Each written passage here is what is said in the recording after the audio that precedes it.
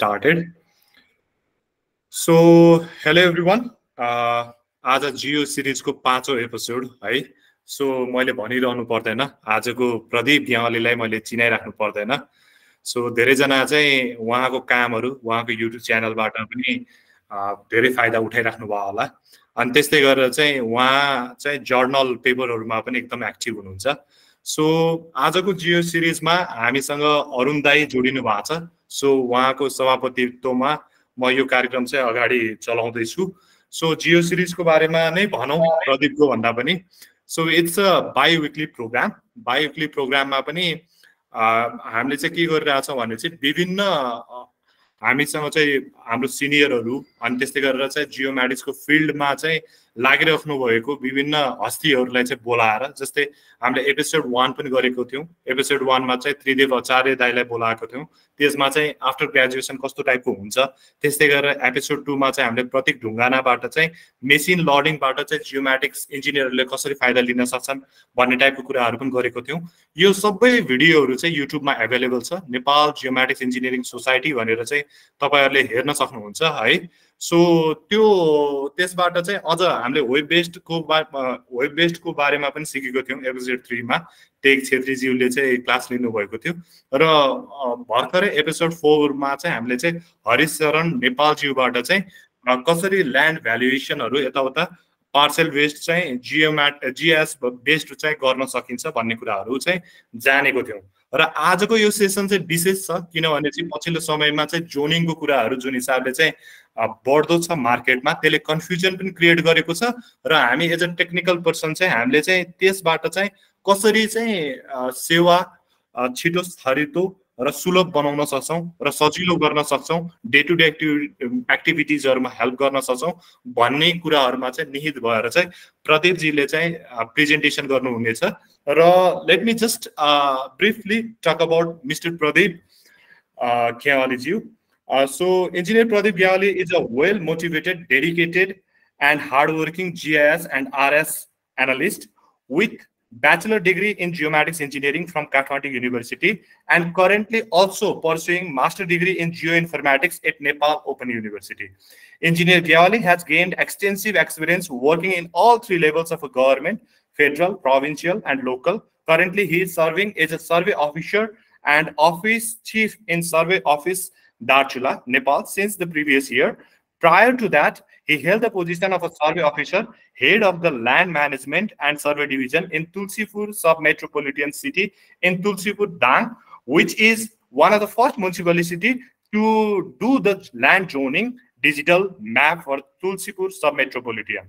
And he also has uh, uh, served as a GIS consultant for the urban development planning project under the office of the chief minister and council of a minister. So in Lumbini province for one year. Furthermore, he worked as a GIS RS analyst at Naksa Private Limited in Balwater, Kathmandu. Engineer Gyali has made significant contributions to the field of a GIS RS and has published more than eight international papers. Wow. So let me just welcome Mr. Pradeepji. So floor is your Pradeepji. Uh, very, very, thank you, sir. यो चाहिँ पहिलेदेखि दाइ दाई भन्ने बानी बसालियो sir भन्न त धेरै गाह्रो पर्दो रहेछ है ओके ठिक छ प्रदीपजी अब यस्तै हो लाइफको चेन्ज ग्रोथ हरेक कुराहरू दाइ भाइ पनि चल्छ हाम्रो ब्याकग्राउन्डमा चलाउँ ल आज अब अलिकति फर्मल पनि होइन इनफर्मल प्रोग्राम भए पनि फर्मल इनफर्मल जेस अब बसेर गरौँ विशेष गरी एनजिएसको टिमलाई धेरै धेरै धन्यवाद यहाँ चाहिँ हामीसँग अरुण सर पनि जोडिनु भएको छ। उहाँसँग चाहिँ अब नक्सामा काम गर्दाखेरि हामी धेरै नजिकबाट चाहिँ मैले उहाँसँग काम गर्ने चाहिँ मौका पनि पाएँ। एनजिएसले चाहिँ यो कार्यक्रम आयोजना गरेर चाहिँ अहिलेसम्म यो पाँचवटा एपिसोड चाहिँ सञ्चालन के अरे चारवटा एपिसोड सञ्चालन भइसकेको छ। यसको लागि चाहिँ म एनजिएस सबै टिमलाई चाहिँ धन्यवाद पनि दिन चाहन्छु। र अहिले चाहिँ एकदमै हट इस्युको रूपमा रहेको यो ल्यान्ड युज जोनिङ चाहिँ यो स्थानीय तहहरूमा चाहिँ कसरी हुने भन्ने कुरा नै यो चाहिँ अब अहिले हट इस्युको रूपमा छ। र यसमा चाहिँ मैले स्थानीय तहमा हुँदाखेरि मैले आफूले चाहिँ गरेको कामहरू र त्यसको चाहिँ प्रोसेसहरू मात्रै यो चाहिँ विशेष गरी अहिले हामी यहाँ छलफलै गर्ने हो। र मैले चाहिँ कसरी गरेँ र मेरो चाहिँ आफ्नो एक्सपिरियन्स के छ भन्ने कुरामा चाहिँ म केन्द्रित भएर आज म चाहिँ प्रेजेन्टेसन तयार पारेको छु। त्यसलाई म चाहिँ यहाँ तपाईँहरूको समक्ष प्रस्तुत गर्न चाहन्छु। र यसमा भएका चाहिँ कुनै हजुरहरूको जिज्ञासा अथवा चाहिँ यसलाई यस्तो ढङ्गले लैजाँदा चाहिँ उपयुक्त होला कि भन्ने चाहिँ हजुरहरूको सुझावहरूलाई चाहिँ हामीले अन्त्यमा चाहिँ हामीले त्यसलाई पनि सँगै लिएर लैजा लैजाउँला। मैले चाहिँ सुरु स्क्रिन सेयर चाहिँ सेयर गर्नुहोस्। अनि साथीहरूलाई चाहिँ अभियसली तपाईँहरूले च्याट बक्समा मजाले नेटवर्किङ गर्न सक्नुहुन्छ र क्वेसनहरू पनि राख्न सक्नुहुन्छ है। सो प्रदीपजीले चाहिँ स्क्रिन सेयर गर्दै हुनुहुन्छ। स्क्रिन चाहिँ सेयर भइसकेको छ। हजुर। यो दार्चुलामा अलिकति नेटको चाहिँ प्रब्लम हुनसक्छ है यसमा चाहिँ हजुरहरूले यसो बेला बेलामा चाहिँ मलाई गाइड गरिदिनु होला त्यसमा चाहिँ। हुन्छ स्योर ल देखिन्छ। देखिरहेछ है। देखिरहेछ पर्फेक्ट छ। हस् त फेरि पनि धन्यवाद। म चाहिँ अहिले हाल अघि पनि सुनिल सरले भनिसक्नु भएको छ। हाल अहिले नापी कार्यालय दार्चुलामा चाहिँ नापी अधिकृतको रूपमा चाहिँ काम गरिरहेको छु। यति भन्दै म चाहिँ स्लाइड चाहिँ सुरु गर्ने अनुमति चाहन्छु। र यसमा चाहिँ हामीले मन्त्रालयले विभिन्न चरणमा चाहिँ यो भू उपयोग वर्गीकरण सम्बन्धी चाहिँ परिपत्र गरेको हामी सबैलाई थाहा नै छ किन भन्दा हामी सबै यही फिल्डको मान्छे भएको हुनाले। यसमा चाहिँ मन्त्रालयले के भनेको छ भन्दाखेरि स्थानीय तहले आफ्नो क्षेत्रभित्रको चाहिँ जग्गाको वर्गीकरण नगरेसम्म चाहिँ किता काठ चाहिँ नखुल्ने भन्ने चाहिँ परिपत्र छ यसमा चाहिँ। त्यो भएको हुनाले यो चाहिँ गरि गरिसक्नु पर्ने हो। स्थानीय तहलाई हामीले यो विभिन्न मिति तोकेको छ जस्तै भूपयोग नियमावली दुई हजार उनासी जारी भइसकेपछि छ महिनाभित्रमा त्यो भनेको चाहिँ मक्सिर तेइस गतेभित्रमा चाहिँ प्रत्येक स्थानीय तहहरूले दुईवटा भागमा चाहिँ वर्गीकरण गरिसक्नु पर्ने थियो। यद्यपि चाहिँ स्थानीय तहहरूले त्यो चाहिँ दुईवटा क्षेत्रमा वर्गीकरण गर्न चाहिँ सकेनन्। अब त्यसमा चाहिँ विभिन्न कारणहरू हुनसक्छ। त्यो नसकेको हुनाले फेरि पछिल्लो परिपत्र मार्फत चाहिँ अब स्थानीय तहहरूले चाहिँ आफ्नो क्षेत्रभित्रको चाहिँ वर्गीकरण नगरेसम्म चाहिँ किताकाट नखोल्ने भनेर चाहिँ यसरी परिपत्र गरेको छ। त्यो चाहिँ म क्लिप चाहिँ यहाँ हजुरहरूको समक्ष राखेँ। र अब हामी सुरुमा जाँदाखेरि भूमिबाटै जानु पऱ्यो किन भन्दाखेरि भू उपयोग वर्गीकरण पनि यसैसँग चाहिँ सम्बन्धित भएको विषय हुनाले जग्गा नाचवाच यसले चाहिँ के भन्छ भन्दाखेरि भूमि भनेर चाहिँ टपिक माथि राखे तापनि जग्गा भन्नाले भनेर सुरु गरेको छ। जग्गा भन्नाले घर वाग बगैँचा रुख कर कारखाना ताल पोखरी इत्यादि समेत भएको सबै किसिमको जग्गालाई चाहिँ सम्झाउनुपर्छ भनेको छ। अब यहाँ हामीले चाहिँ जग्गा के हो र जमिन के हो र भूमि के हो यो तिनवटा कुरा आयो यहाँनिर चाहिँ। सुन्दा उस्तै उस्तै लाग्छ तर अलिकति चाहिँ फरक छ। जग्गा भनेको चाहिँ आइडेन्टिफाइड पिस अफ ल्यान्ड हो। त्यसको चाहिँ आफ्नो त्यसलाई चाहिँ हामीले आइडेन्टि गर्न सक्छौँ। या त किता नम्बर होला या त त्यसको चाहिँ ओनरसिप चाहिँ कसको नाममा छ त्यसरी होला होइन? र जमिन भनेको चाहिँ पाहाड छ यो चाहिँ जस्तो चाहिँ जल क्षेत्र भयो एउटा एउटा चाहिँ जग्गाको चाहिँ क्षेत्र भूमि भयो। यसरी चाहिँ त्यो जग्गाको चाहिँ समष्टिगत रूप भयो र पृथ्वीको एउटा पाहाड चाहिँ जमिन भयो भने भूमि भनेको चाहिँ समष्टिगत रूप। जग्गा र जमिनको सबै समष्टिगत रूप हो। त्यो चाहिँ हाम्रो आँखाले चाहिँ पृथ्वीको सतहमा देखिने सबै कुराहरू चाहिँ यस भूमिमा चाहिँ यसरी राखेको छ। र अब हालको भूमि व्यवस्थापनका चुनौतीहरू चाहिँ के के छन्? हामीलाई किन चाहिँ हामीलाई यो अव्यवस्थित भू उपयोग चाहिँ कस्तो कस्तो किसिमले भयो? र हामी चाहिँ किन यो चाहिँ व्यवस्थित भू उपयोगमा चाहिँ जानुपर्ने चाहिँ हामीलाई चाहिँ त्यो चाहिँ बाध्यता छ भन्ने कुराहरू हेऱ्यौँ भने हामीसँग चाहिँ विशेष गरी चारवटा किसिमका चाहिँ अव्यवस्थित भू उपयोग रहेछन्। कस्तो रहेछ भन्दाखेरि एउटा हामीसँग उपयोग नभएको किसिमका जग्गाहरू छन्। अर्को हामीसँग चाहिँ कम उपयोग चाहिँ जुन चाहिँ जति क्षमता त्यसले दिने हो त्यो क्षमता भन्दा पनि हामीले चाहिँ त्यसबाट चाहिँ लिने उत्पादन चाहिँ लिने चाहिँ एकदम कम छ। त्यस्तो किसिमको जग्गाहरू छन्। त्यो पनि अव्यवस्थित भूपयोगको चाहिँ एउटा पाटो हो। अर्को भनेको दुरुपयोग भएको जग्गा छ। जस्तो एउटा चाहिँ उपयोग गर्नुपर्ने जमिनलाई हामीले चाहिँ अर्को क्षेत्रमा लगेर चाहिँ त्यसलाई उपयोग गरिरहेछौँ भने त्यो पनि अव्यवस्थितको चाहिँ एउटा पाटो हुने भएकोले त्यस्तो प्रकृतिको जग्गा छ। अर्को भनेको अत्याधिक चाहिँ उपयोग भएको चाहिँ जग्गा छ। जुन चाहिँ हामीले चाहिँ रसायन मल हालेर हुन्छ कि के गरेर हुन्छ त्यसबाट चाहिँ उब्जाउ चाहिँ एकदम बढी लिन खोज्ने। एज यो कृषिको पर्सपेक्टिभबाट मात्र भन्दैछु अरू किसिमबाट पनि भयो होइन? र अर्को भनेको चाहिँ त्यसलाई चाहिँ त्यसको क्षमता हामीले चाहिँ त्यसमा चाहिँ हामीले वास्ता नगरिकन त्यसलाई हामीले चाहिँ जति सक्यो त्यसलाई चाहिँ हामीले थुत्न खोज्यौँ त्यसबाट त्यसलाई चाहिँ दोहन भन्दो रहेछ अर्को भाषामा। यस्तो किसिमका चाहिँ हामीसँग जग्गा चाहिँ भूमि व्यवस्थापनका चाहिँ हामीसँग चुनौतीहरू छन्। र यी चुनौतीहरूलाई चाहिँ समाधान गर्नको लागि चाहिँ हामीलाई चाहिँ भू उपयोग चाहिँ वर्गीकरण गर्नुपर्ने आवश्यकता देखियो। र यसमा विभिन्न समयमा जस्तो भू उपयोग नीति आयो। भूपयोग नीति दुई हजार बहत्तर सालमा चाहिँ भूकम्प गइसकेपछि चाहिँ उसले अपडेट गरेर ल्यायो। त्यसपछि भूपयोग नीतिपछि चाहिँ भूपयोग एन आयो दुई हजार छिहत्तरमा र त्यही एनको चाहिँ बेसिसमा फेरि भूपयोग नियावली दुई हजार उनासी भनेर चाहिँ त्यहाँ जारी भइसकेको अवस्था छ। र यहाँसम्म आउँदाखेरि विभिन्न हाम्रा चाहिँ अहिले तिन तहको सरकारमा आफ्नो आफ्नै किसिमका चाहिँ यसमा चाहिँ कार्य क्षेत्राधिकारहरू छन् त्यसलाई हामीले अहिले एकछिन पछाडि चाहिँ चर्चा गरौँला र भू वर्गीकरणको लागि चाहिँ के छ भने भन्दाखेरि सुरुमा चाहिँ हाम्रो एघारवटा भागमा चाहिँ गरेको देखिन्छ हामीले चाहिँ हेऱ्यौँ भने र त्यसलाई नियावलीमा ल्याउँदाखेरि चाहिँ झारेर दसवटा भागमा झारेको छ त्यो चाहिँ कुन भन्दाखेरि एउटा चाहिँ गिट्टी बालुवालाई चाहिँ हाम्रो खानी तथा खनिजभित्र हालेर चाहिँ त्यो चाहिँ घटेको छ। यो किन यो अहिले चाहिँ हामीसँग भएको चाहिँ खास चाहिँ नौवटा हो। त्यो नौवटामा चाहिँ एउटा चाहिँ के भनेको छ भन्दाखेरि नेपाल सरकारबाट आवश्यकता अनुसार तोकिएको अन्य क्षेत्र भनेको छ। त्यो भनेको कुनै स्थानीय तहले पनि त्यो गराउन सक्ने एउटा चाहिँ आवश्यक आवश्यकता अनुसार चाहिँ वर्गीकरण डिफाइन गर्न सक्ने भयो। प्रदेशले पनि सक्ने भयो र सङ्घले पनि सक्ने भयो। त्यो तिनै तहको चाहिँ भूपेद परिषदबाट त्यो चाहिँ गर्न सक्ने भएको कुरा भयो। र यसमा विशेष गरी कृषि क्षेत्र आवासीय क्षेत्र व्यावसायिक क्षेत्र औद्योगिक क्षेत्र खानी तथा खनिज क्षेत्र वन क्षेत्र नदी खोला ताल क्षेत्र सार्वजनिक उपयोगका क्षेत्रहरू सांस्कृतिक तथा पुरातात्विक महत्त्वका क्षेत्रहरू र नेपाल सरकारबाट आवश्यकता अनुसार तोकिएको अन्य क्षेत्र भनेर चाहिँ दसवटा भागमा चाहिँ तोकिएको छ। र अब हामीले चाहिँ अलिकति यो भूमिसँगको सम्बन्ध हेऱ्यौँ भने यसमा चाहिँ के छ भन्दाखेरि यो प्रत्येक चाहिँ प्राणी भनौँ न सबै प्राणीहरू यसैमा चाहिँ जन्मिने हो यसैमा चाहिँ उसले चाहिँ आफ्नो जीवन निर्वाह गर्ने हो र यसैमा चाहिँ समाप्त भएर जाने हो। यसरी हाम्रो चाहिँ जन्मेदेखि मर्नेसम्म चाहिँ हाम्रो सबै प्राणीको चाहिँ भूमिसँग चाहिँ सम्बन्ध रहेको हुन्छ।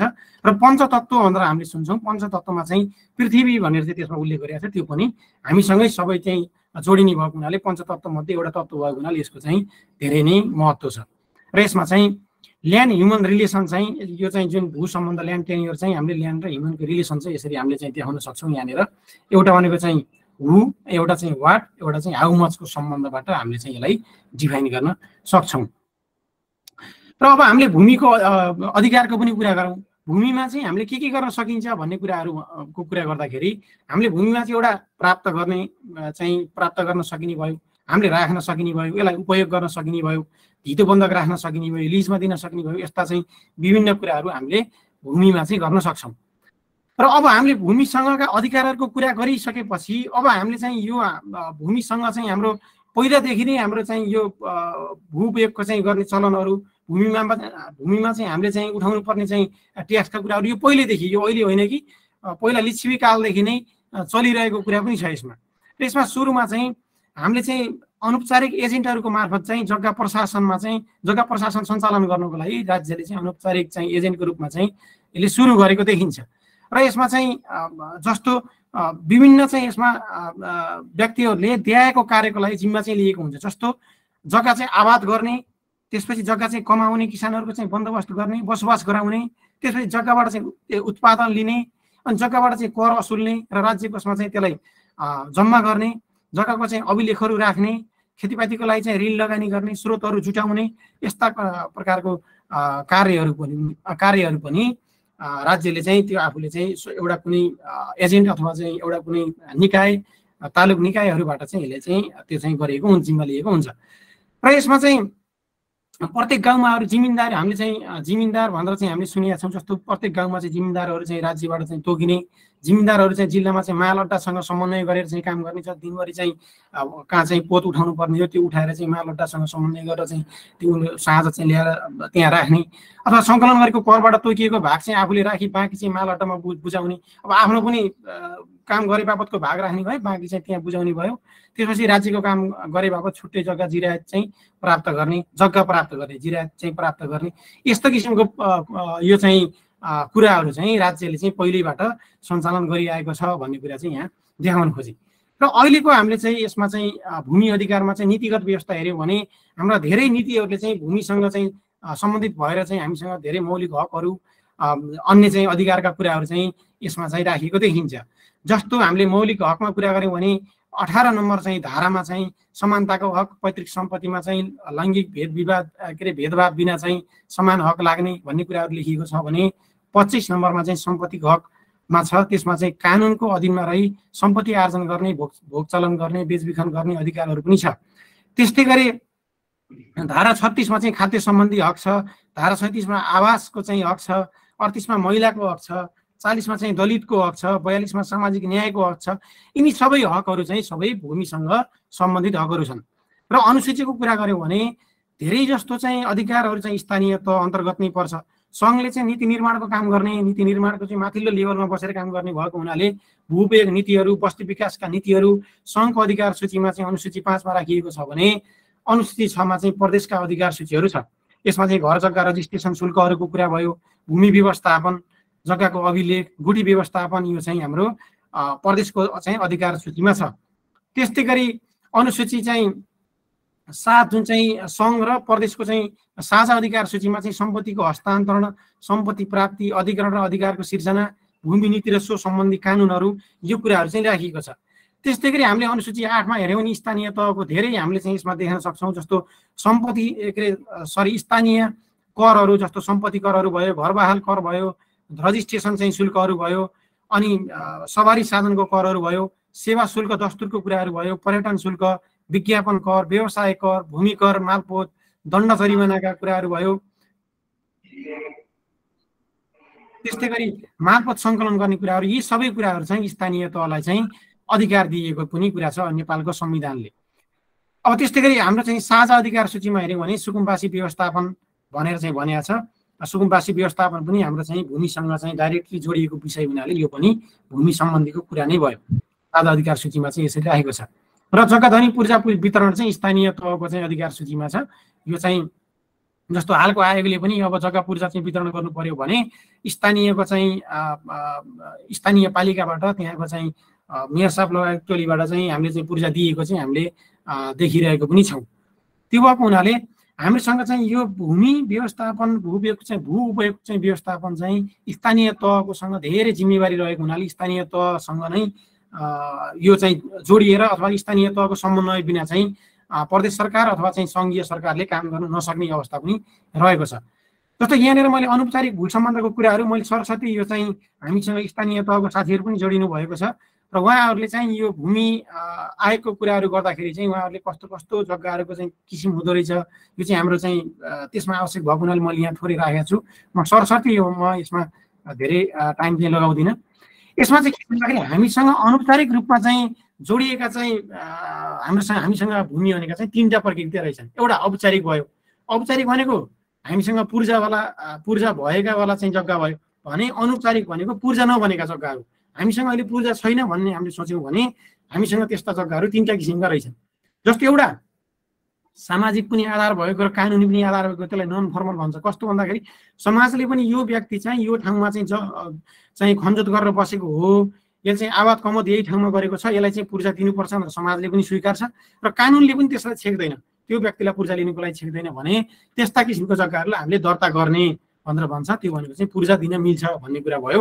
एउटा बिर्ता जग्गाहरू गाउँ बलकका जग्गाहरू बेनिस्या छुट जग्गा मोही जग्गाहरू यस्ता किसिमका जग्गाहरू जस्तो अहिले अब म यानि हक त अहिले त लाग्दैन। त्यही पनि पहिलाको छ भने ठ्याक्क चाहिँ जो जुन चाहिँ त्यो जग्गाको चाहिँ जग्गा धनी छ तलसिङ छ त्यो तलसिङको जग्गाबाट ठ्याक्क आधा आधा हुने गरी आधा चाहिँ मैले राख्ने आधा चाहिँ तलसिङले राख्ने गरेर चाहिँ यसरी जग्गा चाहिँ दर्ता गरेर उसलाई चाहिँ महीको नाममा पनि पूर्जा आउनेसँग सम्मको चाहिँ कार्य चाहिँ हाम्रो नन फर्मल किसिमकोमा अनौपचारिक भू सम्बन्धमा भयो।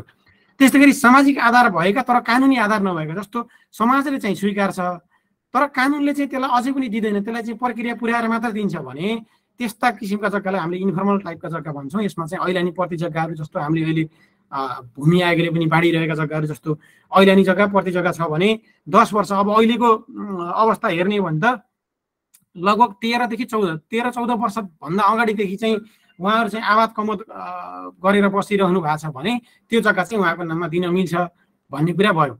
अब जस्तो यसमा पनि लामो समयदेखि चाहिँ वन क्षेत्र वा अन्य सरकारी सार्वजनिक क्षेत्रमा बसोबास छ भने पनि त्यस्तो वन क्षेत्र पनि आबादीमा कन्भर्ट भएको चाहिँ हुनु पर्यो। त्यस्तो क्षेत्रलाई पनि हामीले त्यस्तो क्षेत्रका जग्गाहरू बाँड्न मिल्ने भन्ने कुरा छ। अनि बेदर्तावाल महीहरू यिनी कुरा यस्ता किसिमका चाहिँ समस्यामा चाहिँ हामीले प्रक्रिया पुर्याएर चाहिँ त्यसलाई व्यवस्थित गर्न सकिन्छ भन्ने कुरा भयो। र अर्को समाजले पनि नस्वीकार्ने र कानुनी किसिमले पनि नस्वीकार्ने किसिमका चाहिँ इन्क्रोच ल्यान्डहरू भएका चाहिँ थुप्रै हामीसँग चाहिँ ठाउँहरू छन्। यो भनेको चाहिँ त्यसलाई अध्ययन गर्ने र छानबिन गरेर चाहिँ व्यवस्थापन गर्ने भन्छ। दिन नमिल्नेलाई नदिने। यस्तोमा चाहिँ सरकारी सार्वजनिक जग्गाको चाहिँ तत्काल अतिक्रमणका कुराहरू छ। अनि नदी तत्काल अतिक्रमण भनेको अघि हामीले जुन टाइम फ्रेम भन्यौँ त्यही टाइम त्यो टाइम फ्रेमको भित्र पर्ने गरी।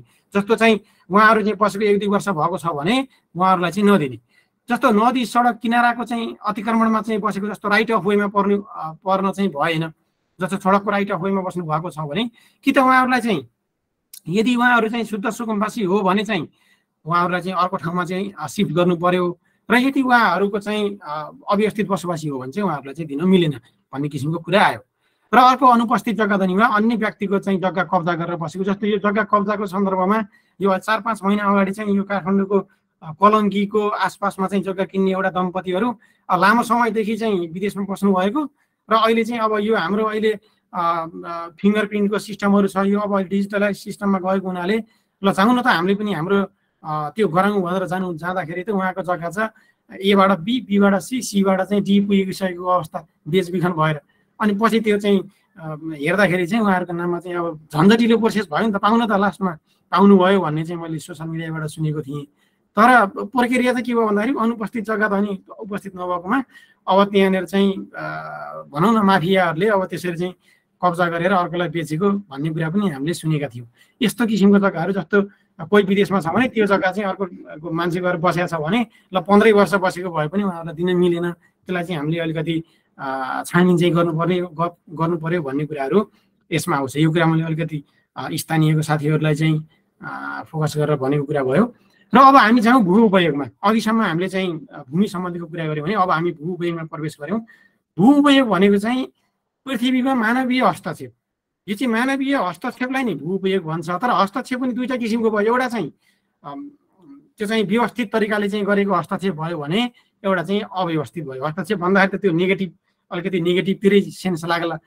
र मान्छेले चाहिँ जति पनि संरचनाहरू बनाउने हो मान्छेले जति पनि यहाँ चाहिँ उत्पादनमूलक चाहिँ कामहरू गर्ने हो सबै यही हाम्रो भूमिमा नै बसेर गर्ने भएको हुनाले यो चाहिँ मान्छेले कसरी लैरहेछ त्यसलाई सकारात्मक वेले गएको छ कि नकारात्मक वेले गएको छ? त्यो कुरा चाहिँ हामीले भूउपयोगमा देखिन्छ जस्तै यसमा चाहिँ सामाजिक आर्थिक र वातावरणीय विकासलाई चाहिँ ध्यानमा राखेर भूमि तथा भूमि स्रोतको चाहिँ दिगो तथा बुद्धिमत्तापूर्ण तरिकाले उपयोग गर्नुलाई नै हामीले व्यवस्थित चाहिँ भू उपयोग भनेर भन्न सक्छौँ।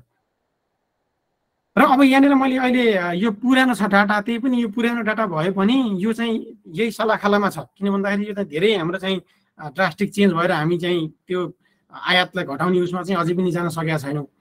यो चाहिँ सतहत्तर अठहत्तरमा चाहिँ के देखियो भन्दाखेरि नेपालमा चाहिँ तिन खर्ब तेइस अर्ब छेसठी करोड मूल्य बराबरको चाहिँ कृषिजन्य वस्तु चाहिँ हामीले खरिद गऱ्यौँ यसमा चाहिँ विभिन्न क्याटेगोरी दिएको छ। म त्यो क्याटेगोरीतिर गइनँ। यो चाहिँ हिमाल खबरबाट साबर गरेको हो यो चाहिँ। अब यो हाम्रो नेपालको चाहिँ पर्सपेक्टिभबाट हेर्दाखेरि यस्तो देखिन्छ भने अब हामीले चाहिँ इजरायललाई हेऱ्यौँ भने इजरायलको चाहिँ क्षेत्रफल पनि हाम्रोभन्दा कम छ। बाइस हजार एक सय पैँतालिस वर्ग मिटर छ। त्यसमध्ये कृषियोग्य जमिन अझै चाहिँ तपाईँको चाहिँ कम देखिन्छ यहाँ छ हजार दुई सय तेइस छ। लगभग चाहिँ तिनदेखि पाँच प्रतिशत भित्र आयो हेर्नु। अनि अर्को जनसङ्ख्या पनि हाम्रो चाहिँ त्यो त्यहाँको जनसङ्ख्या चाहिँ लगभग यो क्षेत्रफल अनुसार चाहिँ धेरै नै छ। एक करोड जनसङ्ख्या छ। अब यसमा चाहिँ हामीले हेऱ्यौँ भने कृषि उत्पादनमा चाहिँ इजरायल चाहिँ आफूमा चाहिँ आत्मनिर्भर भएर आफूले चाहिँ आयात नगरेर अथवा चाहिँ विदेशहरूमा चाहिँ निर्यात गर्ने। चाहिँ सम्मको चाहिँ इजरायलमा त्यसरी चाहिँ भू उपयोग चाहिँ नीतिहरू लागू गरेर यसरी चाहिँ काम गरेको छ। यो चाहिँ अब हाम्रो जस्तो क्षेत्रमा चाहिँ अब सत्ताइस प्रतिशत भनेर हामीले चाहिँ कृषियोग्य भने पनि हाम्रो चाहिँ प्रयोग चाहिँ भएको छैन। त्यो भएको हुनाले हामीले चाहिँ बढीभन्दा बढी चाहिँ हामीले आयात गरेर नै हामीले चाहिँ लिनुपर्ने चलाउनु पर्ने हाम्रो चाहिँ बाध्यता छ। ल एकैछिन है प्रदीप अलिकति मोनोटोनस पनि होला होइन। अलिकति इन्टरेक्टिभ पनि हुन्छ होला। हरिचरण दाईले चाहिँ ह्यान्ड रेज गर्नुभएको छ। सो टु वे कम्युनिकेट गर्दाखेरि तपाईँलाई पनि अलिकति उ होला। बेला बेलामा चेक गर्न पनि हुन्छ। सो हरिशरण दाजु you can ask your question mistakenly भयो र हरिचरण दाई? तपाईँको हात चाहिँ रेड छ है? सो कोही साथीहरू अरू कसैको प्रश्नहरू छ? सायद मिस्टेकली भयो जस्तो छ। ल ठिकै छ क्वेसन आइरहँदाखेरि चाहिँ ओके सुनिल म्याक्स भन्ने छ है? सो या अनम्युट गर्नुहोस् क्वेसन सोध्न सकिन्छ। सो यो हाम्रो भू प्रयोग वर्गीकरण चाहिँ कुन तरिकाले गर्ने भन्ने खालको कुरा हो सर? हजुर। हजुर भन्नुहोस् त। ए सर हाम्रो यो भू प्रयोग वर्गीकरणको चाहिँ ए त्यही त। त्यो मैले चाहिँ वर्क फ्लो नै अहिले आउँछ। तल कसरी गरेको मैले भनेर चाहिँ मैले चाहिँ तल वर्क फ्लो राखेको छु। हामी अब त्यहाँ बिस्तारै जाँदैछौँ। त्यो त्यति धेरै अगाडि पनि पुगेको छैन। यो विशेष गरी पहिला हाम्रो चाहिँ नियम र नीति नियमको कुराहरू सर र भन्ने हो होइन? त्यसपछि चाहिँ मैले तल चाहिँ वर्क फ्लोको बारेमा अलि बढी टाइम लिएर त्यो भनौँला। त्यसपछि आउटपुटहरू पनि मैले निकालेको छ। त्यो पनि हेरौँला है? त्यो त्यहाँ प्रवेश गर्नुभन्दा अगाडि तपाईँहरूलाई यसो चाहिँ सबैले बुझिसकेको कुरा हो यो अगाडिको हुन चाहिँ।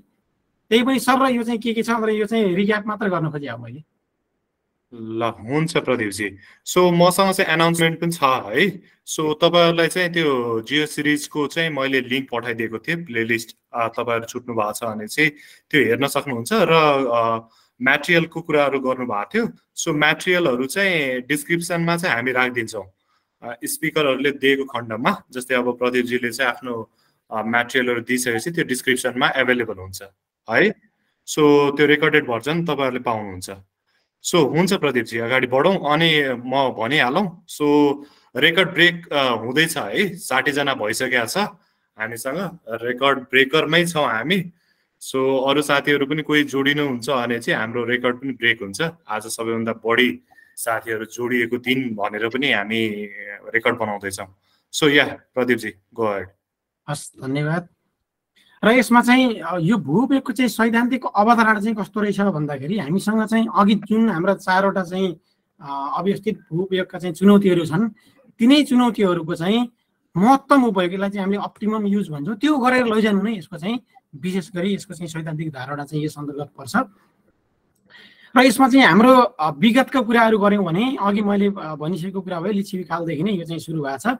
र यसमा चाहिँ हाम्रैभन्दा अगाडि चाहिँ यो एउटा राष्ट्रिय भूपयोग नीतिबाट चाहिँ मैले लिएको कुरा हो यो चाहिँ। पृथ्वीनारायण शाहको चाहिँ एउटा कथन रहेछ त्यसलाई चाहिँ हामीले दिव्य दृष्टि भन्दै हुनुहुन्थ्यो सरहरूले। यसमा चाहिँ के कुरा उल्लेख गरेको रहेछ भन्दाखेरि पानी भएका ठाउँमा गाउँ भए पनि गाउँ अरू जग्गामा सारिकन पनि पानी चलाउनु खेत बनिया जग्गामा घर भए पनि अन्त जग्गामा सारिकन कुलो काटी खेत बनाई आवाद गर्नु। आफ्नो देशको जिनिस जडीबुटी आफ्नो देशको जिनिस जडीबुटी देश लैजानु र नगद खिच्नु यस्तो कुरा चाहिँ पहिले चाहिँ पृथ्वीनारायण शाहको चाहिँ कथनको रूपमा यो उहाँहरूले त्यति चाहिँ एडभान्स तरिकाले चाहिँ सोच्नु भएको रहेछ भन्ने कुरा देखियो नि। यसमा चाहिँ के कुरा छ भन्दाखेरि हाम्रो अहिले हामीले चाहिँ यो ल्यान्ड जोनिङमा चाहिँ यो कुरा ठ्याक्कै यही कुरा लागु हुन्छ। किन भन्दाखेरि हामीले चाहिँ एकदम ठुलो चाहिँ प्लट भयो। त्यो ठुलो प्लट भएको ठाउँमा त्यो चाहिँ खेतीको लागि एकदमै त्यो चाहिँ उपयुक्त हुन्छ भने त्यहाँ एक दुईवटा घर भन्दैमा हामीले त्यसलाई चाहिँ आवासमा राखियो भने त्यसले गर्दाखेरि के हुन्छ भन्दाखेरि सबै कुरा चाहिँ कृषिको लागि उपयुक्त देखियो। तर हामीले अहिले लान खोज्यौँ त्यसलाई आवासीयमा भने त्यो कुरा चाहिँ अलिकति मिल्दैन। त्यो कुरा चाहिँ यस्तै कुरा चाहिँ यहाँनिर देखाउनु उहाँले चाहिँ भन्नु भएको होला भन्ने कुरा भयो। यहाँनिर चाहिँ पानी चाहिँ छ भने सिँचाइ गर्ने चाहिँ त्यहाँनिर चाहिँ सिँचाइ उपलब्ध हुने भयो। र त्यो उसले सिँचाइ गर्न मिल्छ भने त्यहाँनिर गाउँ भरिएको भए पनि बरु गाउँलाई अन्त ठाउँमा चाहिँ विस्थापन गरेर त्यहाँनिर चाहिँ त्यो जग्गामा चाहिँ कृषि नै चलाउनु पर्यो। र चाहिँ खेतको ठाउँमा चाहिँ घर छ भने त्यो घरलाई चाहिँ अर्को ठाउँमा सारेर भयो चाहिँ खेतै चलाउनु पर्यो भन्ने कुरा चाहिँ यहाँनिर उल्लेख गर्नुभएको छ। र आफ्नो देशको चाहिँ सबै कुराहरू जडीबुटीदेखि लिएर यो कृषिका चाहिँ कुराहरू हामीले चाहिँ अरू देशमा चाहिँ लैजाने त्यसलाई चाहिँ हामीले निर्यात गर्ने र त्यहाँबाट चाहिँ हामीले चाहिँ पैसा चाहिँ नगद चाहिँ आयात गर्ने नगद चाहिँ लिने खिच्ने भन्ने कुराहरू चाहिँ उहाँको चाहिँ दिव्य दृष्टिबाट यो कुरा देखिन्छ। र नेपालको चाहिँ अघि पनि मैले भनिसकेँ नेपालमा चाहिँ कृषियोग्य जमिन छ त्यही पनि हामीले चाहिँ त्यसलाई युज गर्न चाहिँ खासै राम्रोसँग सकिरहेको छैन भन्ने कुराहरू हामीले गऱ्यौँ। र हामीसँग चाहिँ भूउपयोग नीतिको चाहिँ धेरै उद्देश्यहरू छन् यसमा। यसमा चाहिँ विशेष गरी चाहिँ राष्ट्रको समग्र भूमि भूमिलाई चाहिँ विभिन्न भूउपयोगको क्षेत्रहरूमा चाहिँ हामीले ल्यान्ड ल्यान्ड युजको चाहिँ जोनहरू बनाएर चाहिँ त्यसमा चाहिँ हामीले काम गर्ने। फेरि यो एउटा कुरा चाहिँ स्थानीय तहको के हो भन्दाखेरि हामीले अहिले ल्यान्ड जोनिङ भने तापनि स्थानीय तहको मेन भूमिका भनेको ल्यान्डिज प्लानमा हो। ल्यान्डिज प्लानमा चाहिँ स्थानीय तहले काम गर्ने हो। त्यो ल्यान्डिज प्लान र ल्यान्डिज जोन भनेको कस्तो हो भन्दाखेरि जस्तो अहिले अहिले कुनै एउटा स्थानीय तहले कृषियोग्य जमिन मेरो यति छ मेरो आवासीय क्षेत्र यति छ मेरो भनौँ न औद्योगिक क्षेत्र यति छ भनेर छुट्यायो भने भोलि बिहान गएर कृषियोग्य जमिनमा चाहिँ कहाँनिर हामीले चाहिँ भैँसी पालन गर्ने कहाँ हामीले बाख्रा पालन गर्ने कहाँ माछा पालन गर्ने कहाँ धान खेती गर्ने कहाँ हामीले गहुँ खेती गर्ने त्यो चाहिँ विभिन्न त्यो लोकेसन बेस भएर हामीले चाहिँ प्लानमा चाहिँ हामीले उल्लेख गर्छौँ। त्यो भएको हुनाले यो हामीले जति सक्यो हाम्रो ल्यान्डेज जोन चाहिँ जति राम्रो बनाउन सक्यो त्यसले चाहिँ हाम्रो ल्यान्डेज प्लानमा चाहिँ भोलि गएर चाहिँ यो भूउपयोग नीतिले पनि त्यही कुरा भन्छ। हामीले चाहिँ जति सक्यो अहिले हामीले ल्यान्डेज जोन गर्न सक्यौँ त्यही अनुसार हामीले भूउपयोग योजना बनाउने हो। त्यो कुरा चाहिँ यहाँनिर तहगत तरिकाले छ। हामीले अहिले स्थानीय तहको चाहिँ कुरा गरे पनि यो हाम्रो पहिला सङ्घीय लेभलको त्यसपछि प्रादेशिक लेभलको त्यसपछि स्थानीय लेभलको यो चाहिँ तिनै तिनवटै तहको कुरा छ भूविक योजना बनाएर चाहिँ तर्जुमा गर्ने र कृषि भूमिको चाहिँ संरक्षण गर्ने स्वच्छ सुन्दर सुविधा सम्पन्न बस्ती विकास र दिगो योजनाबद्ध सहरीकरणको चाहिँ निर्माण गर्ने धार्मिक सांस्कृतिक पुरातात्विक महत्त्वको क्षेत्रको चाहिँ संरक्षण गर्नको लागि पनि यो भूपयोग योजना अथवा चाहिँ ल्यान्ड जोन चाहिँ अति आवश्यक चाहिँ देखिन्छ। त्यस्तै गरी मानव र मानव सृजित प्रकोपजन्य जोखिमको चाहिँ न्यूनीकरण गर्ने। हामीले चाहिँ अहिले हामीले अहिले बनाएको ल्यान्ड जोनमा चाहिँ रिक्स चाहिँ रिक्सको चाहिँ एनालाइसिस गर्नुपर्छ। यो चाहिँ जुन नापी विभागले चाहिँ पहिला स्थानीय तहलाई चाहिँ हस्तान्तरण गरेको जियो डाटाबेस त्यो चाहिँ अहिले तल चाहिँ हामीले हेरौँला त्यो डाटाबेसमा पनि विभिन्न कोणबाट चाहिँ त्यसको चाहिँ रिस्क एनालाइसिस भएको छ। अब त्यो एनालाइसिस चाहिँ अहिलेसम्म आउँदाखेरि चाहिँ ठ्याक्क चाहिँ त्यो नमिल्न सक्छ त्यसलाई चाहिँ अध्यावधि गर्दै लैजाने हो। तर त्यो कुरा पनि हामीले ल्यान्डिज जोन गराउँदाखेरि त्यो कुरा पनि हामीले राख्न राख्नु पऱ्यो जस्तो नदीको छेउमा लगेर हामीले चाहिँ आवासको चाहिँ क्षेत्रहरू चाहिँ हामीले राख्न चाहिँ भएन। भोलि गएर चाहिँ मानवीय क्षति चाहिँ नहोस् भन्नको लागि त्यो त्यसको जोखिमको हामीले एनालाइसिस गर्नु पर्यो भन्ने कुराहरू पनि छ। र कित्तामा आधारित भूमि लगत तयार गरी भूपिक योजनाका आधारमा भूमिको न्यूनतम मूल्याङ्कन र प्रगति प्रगतिशील कर निर्धारण गरी कार्यान्वयन गर्ने। अब यो कुरा चाहिँ हाम्रो चाहिँ आदरणीय सर हरिशरण हरिशरण नेपाल सरको चाहिँ यो प्रतिभा डबलीमा पनि यही कुरा चाहिँ उल्लेख भएको छ। यो कुरा चाहिँ उहाँले चाहिँ यसैलाई नै टेकेर चाहिँ यस्तो गर्नुभएको छ। यो त्यो कुरा ठ्याक्क भूपयोग नीतिमा पनि देखिन्छ।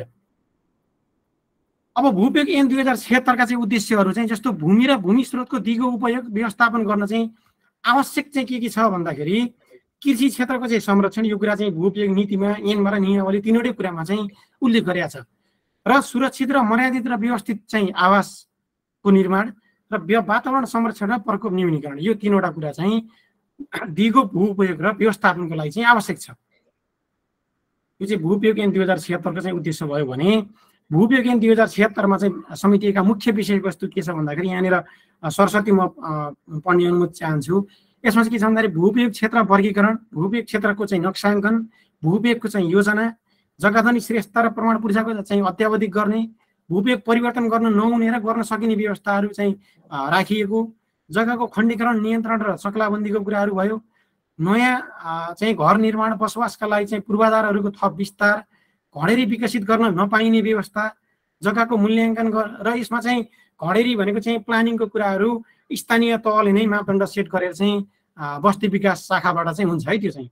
अनि जग्गाको मूल्याङ्कन र करको निर्धारण भूपयोग परिषद तिनवटै तहको चाहिँ सङ्घीय प्रादेशिक र स्थानीय भूपयोग परिषद र स्थानीय कार्यान्वयन समिति भूवेग योजना र यसको चाहिँ पुनरावलोकन त्यस्तै गरी कसुर सजाय अदालतलाई भए सरहको चाहिँ चाहिँ अधिकार यसमा चाहिँ जस्तो भूपयोगको चाहिँ एउटा क्षेत्रमा चनिएकोलाई चाहिँ अर्को क्षेत्रमा चाहिँ उपयोग गर्यो भने त्यसलाई चाहिँ स्थानीय तहले नै सजाय पनि गर्न सक्ने भन्ने कुराहरू पनि राखेको छ। र उजुरी उजुरी गर्ने अनि पुनरावेदन गर्ने संक्षिप्त यसको चाहिँ कार्यविधिहरूको कुराहरू आयो र नियम कार्यविधि निर्देशिका बनाउन सक्ने भन्ने कुराहरू भूविज्ञान दुई हजार छिहत्तरमा पनि समेटिएको छ। र अब हामी आउँ अघि हामीले चाहिँ भनेको चाहिँ तिन तहको परिषदको कुराहरू गरौँ जस्तो चाहिँ पहिला सङ्घीय भूपेक परिषद आउँछ त्यसपछि प्रादेशिक भू भूपेक परिषद आउँछ र स्थानीय भूपेक परिषद आउँछ। यो परिषद भनेको पहिला सङ्घीयले सङ्घको लेभलबाट हेर्छ। ठुला ठुला योजनाहरू राष्ट्रिय गौरवको योजनाहरूको चाहिँ ल्यान्ड युज प्लान गर्नु पर्यो ल्यान्ड त्यसको चाहिँ जोनिङहरू छुट्याउनु पर्यो भने त्यो अवस्थामा त्यो क्षेत्रलाई मात्रै चाहिँ सङ्घीय भूपेक परिषदले गर्छ भने त्यो गरिसकेपछि बाँकी क्षेत्र चाहिँ उनीहरू उसले चाहिँ प्रदेश भूविवेक परिषदलाई पठाउँछ। र प्रदेशले पनि आफ्नो क्षेत्रमा भएका चाहिँ प्लानहरू चाहिँ उसले चाहिँ त्यसको चाहिँ नक्साङ्कन गर्छ र त्यसपछि बाँकी रहेको सबै चाहिँ स्थानीय तहलाई जान्छ। यद्यपि अहिले हामीसँग चाहिँ सङ्घीय भूविवेक परिषद त्यस्तै गरी भनौँ न प्रदेश भूविवेक परिषद त अहिले चाहिँ सञ्चालनै राम्रोसँग चाहिँ भएको अवस्था छैन। त्यो भएको हुनाले अहिले चाहिँ स्थानीय तहले नै सबै क्षेत्रको चाहिँ गराइरहेको छ। र अब यो चाहिँ तिन तहको सरकारमा गइसकेपछि यसरी चाहिँ माथिबाट तल तलबाट तल आएर चाहिँ तल्लो लेभलले चाहिँ सबै किसिमको गऱ्यो भने त्यो गरेको लेभल माथिसम्म जाँदाखेरि इन्टरसेप्ट हुँदैन। त्यसमा चाहिँ ओभरल्याप हुँदैन। र अहिले कस्तो देखिएको छ भन्दाखेरि स्थानीय तहले बनाएको चाहिँ भूवेग नक्सामा अब प्रदेशले आफ्नो योजनाहरूमा चाहिँ जस्तो स्थानीयले चाहिँ कृषिको पकेट क्षेत्र भनेर चाहिँ राखिदिएको ठाउँमा ल्यान्ड पुलिङको चाहिँ ल यहाँनिर भनेर चाहिँ प्रदेशले पनि त्यही क्षेत्रलाई चाहिँ दिन सक्ने अवस्था चाहिँ देखिन्छ। त्यो भएको हुनाले पहिला चाहिँ हाम्रो माथिबाट तल चाहिँ गएको छैन। त्यो कुरा चाहिँ हाम्रो अहिले यो प्रदेश चाहिँ त्यति धेरै यो अलिकति एक्टिभली चाहिँ भूवेग परिषदमा चाहिँ देखिएको छैन। र यसमा चाहिँ हाम्रो समितिको कुरा गऱ्यौँ भने विभिन्न समिति छ। यसमा चाहिँ मन्त्री भूमि व्यवस्था सम्बन्धी विषय हेर्ने नेपाल सरकारको मन्त्रालय चाहिँ मन्त्रालयका मन्त्रीज्यू चाहिँ यसको अध्यक्ष रहनुहुन्छ भने अरू विभिन्न सचिवहरू चाहिँ यसको चाहिँ सदस्यको रूपमा रहनुहुन्छ रहनुहुन्छ र भूमि व्यवस्था सम्बन्धी विषय हेर्ने नेपाल सरकारको मन्त्रालयको सहसचिव अहिले हाम्रो चाहिँ भूमि व्यवस्था सहकारी तथा गरिबी निवारण मन्त्रालयको सहसचिव चाहिँ यसको चाहिँ सदस्य सचिव रहने गरी एउटा हाम्रो सङ्घीय भूविवेक परिषद चाहिँ छ। र सङ्घीय भूविवेक परिषदको चाहिँ हामीले काम कर्तव्यहरू हेऱ्यौँ भने यसमा चाहिँ अघि मैले भने जस्तो दीर्घकालीन तथा आवधिक विकास योजना र कार्यान्वयन क्षमतालाई आधार मानि राष्ट्रिय स्तरको भूविवेक योजना बनाई लागू गर्ने गराउने भन्ने कुरा छ। भूविवेक योजना सञ्चालन गर्न नेपाल सरकारका विभिन्न निकायहरूबिच चाहिँ आवश्यक समन्वय गर्ने त्यस्तै गरी भूविवेक योजना सञ्चालन गर्न आवश्यक। भूविवेक नक्सा डाटा तयार गर्न लगाउने। भूविवेक क्षेत्र वर्गीकरण सम्बन्धी योजना आवश्यक आधार मापदण्डहरू तयार गर्ने र अन्तर प्रादेशिक भूपयोग सम्बन्धको विवाद चाहिँ समाधान गर्ने जस्तो कुनै बााउन्ड्रीमा चाहिँ एउटा प्रदेशले चाहिँ कृषिको एकदम पकेट क्षेत्र राख्यो अर्कोले त्यही बााउन्ड्रीको चाहिँ अर्को साइडतिर चाहिँ आवासीय क्षेत्र राख्यो भने भोलि बिहान त्यसको चाहिँ भूपयोग चाहिँ उनीहरूको मिलेन। त्यो गर्न त्यो राख्न त राख्न सक्यो। तर विवाद चाहिँ आउनु भएन। त्यो विवाद आएको खण्डमा अन्तर प्रादेशिक विवाद छ भने सङ्घीय भूपयोग परिषदले चाहिँ समाधान गर्ने भन्ने कुराहरू छ। र यसमा चाहिँ हाम्रो यो घ नम्बरले सरी ग नम्बरले भनेको कुराहरूको भूपयोग नक्सा डाटा तयार गर्ने भन्ने कुरा चाहिँ तयार गरेर पनि स्थानीय तहलाई चाहिँ हस्तान्तरण भइसकेको छ। त्यो चाहिँ दुई हजार पचहत्तर सालमा सबै स्थानीय तहहरूमा चाहिँ हस्तान्तरण भएको छ। यदि कसैले चाहिँ पाउनु भएको छैन भने त्यो डाटा चाहिँ दुईचोटिसम्मको लागि विभागले फेरि पुनः उपलब्ध गराउन सक्छ। र यसमा चाहिँ प्रदेश भूविवेक परिषद अन्तर्गत जाउँ भने यसमा पनि भूमि व्यवस्था सम्बन्धी विषय हेर्ने प्रदेश सरकारको मन्त्रालयको माननीय मन्त्री चाहिँ यसको चाहिँ अध्यक्ष रहने गरी एउटा समिति छ। र यसमा चाहिँ सचिव भूमि व्यवस्था सम्बन्धी विषय हेर्ने प्रदेश सरकारको मन्त्रालय चाहिँ यसको चाहिँ सदस्य सचिव रहनुहुन्छ। यस्तो एउटा समिति चाहिँ प्रदेश भू प्रदेश भूविवेक परिषदमा छ। र प्रदेश भूविवेक परिषदको चाहिँ काम कर्तव्यको कुराहरू गऱ्यौँ भने प्रदेश स्तरको भूविवेक सम्बन्धी नीति निर्माण र कार्यान्वयन तथा नियमन गर्ने त्यस्तै गरी प्रदेश स्तरीय भूविवेक योजना र मापदण्ड तयार गर्ने अन्तर्स्थानीय तहहरूको चाहिँ भूविवेक सम्बन्धी विवादहरू समाधान गर्ने प्रदेश तहको भूविवेक नक्सा डाटाबेस तयार गरेर चाहिँ अभिलेखहरू अध्यावधिक गर्ने र भूमि व्यवस्थापनका चुनौतीहरूलाई जस्तो हाम्रो चाहिँ चार किसिमको चुनौतीहरूको चाहिँ व्यवस्थापन गर्ने भनेर चाहिँ भूमि व्यवस्थापन भनेर चाहिँ यसको चाहिँ प्रदेश अधिकार सूचीमा रहेको हुनाले यो कुरा पनि प्रदेश भूविवेक परिषदको चाहिँ काम कर्तव्यतिर पर्छ। र अब हामी चाहिँ हजुर। सुन्नु न सर यो के अरे सङ्घीय भू सङ्घीय भू परिषदले त्यो डाटा त उपलब्ध गरायो होइन सर यो भू के को स्थानीय तहमा त्यो गर्न त गरे त्यो डाटा के कसरी हेर्ने के हो कस्तो हो भन्ने कसैलाई थाहा छैन सर अनभिज्ञ छन् कि यहाँनिर। अब स्थानीय तहमा म काम गर्छु यता। अब परिचय नि दिउँ न सर अब परिचय दिने म चाहिँ यता दोलखाबाट सोलुङ गाउँपालिकाबाट अनिस्तामा अमिनमा चाहिँ काम गर्दैछु। त्यो डाटा त उपलब्ध भयो सर हुन चाहिँ त्यो त्यो डाटाको काम के हो डाटा के हो कसरी चलाउने के गर्ने कस्तो हो भनेर कसैलाई थाहा छैन कि हामीलाई त्यो समय थाहा छैन अनभिज्ञ छौँ कि हामी। के त्यसलाई के गर्ने भनेर कि के कसो? ए यसमा चाहिँ यस्तो छ अब त्यो डाटा भनेको चाहिँ त्यो जिआइएसको डाटाबेस चाहिँ उपलब्ध गराएको छ नापी विभागले होइन? अब तपाईँ चाहिँ तपाईँलाई जिआइएस चाहिँ आउँछ भने तपाईँले चाहिँ त्यो डाटालाई चाहिँ एड गरेर त्यो हेर्न सक्नुहुन्छ त्यो डाटाबेसभित्र के के छ। त्यो कुरा अहिले मैले तल राखेको छु तपाईँहरूले त्यही त्यो डाटाबेसभित्र के के कुराहरू पर्दो रहेछ भन्ने कुरा अहिले तपाईँले थाहा पाउनुहुन्छ। र त्यो हेर्नको लागि चाहिँ तपाईँले त्यो डाटा चाहिँ जिआइएसबाट खोल्नुपर्छ। त्यो अरूबाट चाहिँ खुल्दैन। त्यो चाहिँ तपाईँले ख्याल गर्नु होला ए फेरि एक सर हाम्रो जिआइएस नै कतिसम्म चलाउनै आउँदैनन् कि? त्यो अब कसै ट्रेनिङ पनि छैन अब डाटा चाहिँ उपलब्ध चाहिँ भयो। पहिला सुरु त तालिम हुनु पर्ने छ तालिम दिनु पऱ्यो नि त्यस्तै तहको प्राविधिकहरूलाई त्यो तालिम प्राप्त भइसकेपछि मात्रै त्यो डाटा चलाउन सकिने रहेछ नि त। त्यो तालिम नै छैन कि सर हाम्रो? यसमा अब यस्तो छ हेर्नु अब यसमा तपाईँहरूले छुट्टै अब तालिम सञ्चालन गर्न पनि सक्नुहुन्छ होइन? तर अब भूमि व्यवस्थापन प्रशिक्षण केन्द्र धुलीखेल त थाहा पाउनु भयो होला त्यहाँबाट पनि यो जिआइएस सम्बन्धी बेसिक जिआइएस ट्रेनिङ भनेर चाहिँ विभिन्न प्याकेजहरू चाहिँ आएको हुन्छ। त्यो चाहिँ तपाईँहरूले ख्याल गर्नु होला। त्यसपछि त्यहाँनिर जाने सिक्ने अथवा अहिले त अब यो युट्युबबाट अहिले पनि सायद एलएमटिसीको जुनियर नापीको लागि चाहिँ खुलेको छ जस्तो लाग्छ। हजुर। रिसेन्टली अहिले हो रिसेन्टली खुलेको भनेर सूचना देखिएको थियो। त्यस्तोमा चाहिँ सम्पर्क गरेर तपाईँहरूले अब आफूले पनि अब अहिले सिक्छु भने त तपाईँहरूलाई चाहिँ अब सिक्नको लागि चाहिँ आफैले पनि सिक्न सकिन्छ नि त अहिले त। नर्मल्ली डाटा चाहिँ एड गर्ने डाटा अलिकति त्यसलाई डिजिटाइज गर्ने एडिटिङको कुराहरू तपाईँहरूले युट्युब हेरेर हुन्छ कि अथवा चाहिँ आर्टिकलहरूबाट पनि तपाईँले सिक्न सक्नुहुन्छ। र यसलाई चाहिँ सिकाउनको लागि हाम्रो भूमि व्यवस्थापन प्रशिक्षण केन्द्रबाट अब यो अब आउँदो चाहिँ आर्थिक वर्ष पनि कार्यक्रम हुन्छ त्यसमा पनि ख्याल गर्नु होला र तपाईँहरू आफैले नै कुनै चाहिँ जिआइएस सम्बन्धी काम गरेको चाहिँ मान्छेहरूलाई चाहिँ लगेर हायर गरेर तपाईँहरूले चाहिँ तालिमै सञ्चालन गर्न पनि सक्नुहुन्छ। सो यही कुरामा चाहिँ प्रदीपजीको युट्युबमा चाहिँ यो कुराहरू चाहिँ छ कि छैन? युट्युब च्यानल पनि राखौँ न। तपाईँको युट्युब च्यानलको नाम भन्नु त? साथीहरूलाई लिङ्क राखिदिन्छु। जियो इन्फो नेपाल भन्ने छ। त्यो चाहिँ जियो इन्फो नेपाल। हजुर। ल साथीहरू पनि त्यहाँ हेर्दै गर्नु होला है। सो जियो इन्फो नेपालको म लिङ्क पनि राखिदिन्छु। सो हुन्छ। अहिले अब केही हात चाहिँ उठिरहेको अवस्था हो। सो साथीहरू अहिले चाहिँ लास्टतिर चाहिँ क्वेसन आन्सर गरौँला है अब। फेरि अलिअलि ढिलो हुँदै जान्छ। हुन्छ हुन्छ। सो लास्टतिर गरौँला है। तपाईँको क्वेसनहरू चाहिँ च्याट बक्समा राखिदिनु होला नत्र म टिपी राख्छु। अहिले बिर्सिनुहुन्छ भने चाहिँ। सो त्यही अगाडि बढौँ। हुन्छ हस् हस् र स्थानीय भूपयोग परिषद भनेको के हो भन्दाखेरि स्थानीय भूपयोग परिषद भनेको कार्यपालिका हो। यसमा चाहिँ तपाईँहरू कन्फ्युज नहुनु होला। र स्थानीय भूपयोग परिषदभित्र भूपयोग कार्यान्वयन समिति हुन्छ। त्यो भूपयोग कार्यान्वयन समितिमा को को रहन्छ भने समिति चाहिँ एकछिन पछि आउँछ। र स्थानीय भूपयोग परिषदले के के काम गर्न सक्छ भनेर हेऱ्यो भने धेरै जसो कामहरू सबै स्थानीय भूपयोगको परिषदमा छ। जस्तो आफ्नो तहको चाहिँ भूपयोग सम्बन्धी मापदण्डहरू चाहिँ यसका नीति नियमहरू योजना तर्जुमाहरू गर्ने पारित गर्ने सबै कुरा स्थानीय तहलाई छ। त्यस्तै गरी भूमि सम्बन्धी लगत सङ्कलनको कुराहरू चाहिँ तपाईँहरूले चाहिँ गरिसक्नु पनि भयो होला। स्थानीय तहको साथीहरूले भूमि आएको चाहिँ लगत सङ्कलन भनेर लिनुभयो होला। त्यस्तै गरी आफ्नो तहको तहको चाहिँ भूपयोग क्षेत्र नक्सा चाहिँ तयार गर्ने आफ्नो तहको तहको चाहिँ भूपयोग क्षेत्रको चाहिँ ल्यान्डेज जोनिङ गर्ने त्यस्तै गरी भूपयोग योजनाको चाहिँ अनुगमन गर्ने। अब यहाँ हेर्नु न भूपयोग क्षेत्रको वर्गीकरणपछि सिधै भूपयोग योजना ल्यायो। त्यो भन्न खोजेको त्यहाँनिर चाहिँ पहिला भूपयोग क्षेत्रको चाहिँ जोनिङ गरेपछि हामीले बल्ल योजनातिर जाने हो र योजना पनि तयार गर्ने हो। अब अहिले स्थानीय तहको काम भनेको ल्यान्डेज चाहिँ जोनिङ मात्र गर्ने होइन कि ल्यान्डेज प्लान बनाउने हो। त्यो कुरा पनि छ। त्यस्तै गरी भूपयोग परिवर्तनको लागि चाहिँ स्पष्ट आधार यदि छ भने आधार र कारणसहित चाहिँ सिफारिस गर्ने।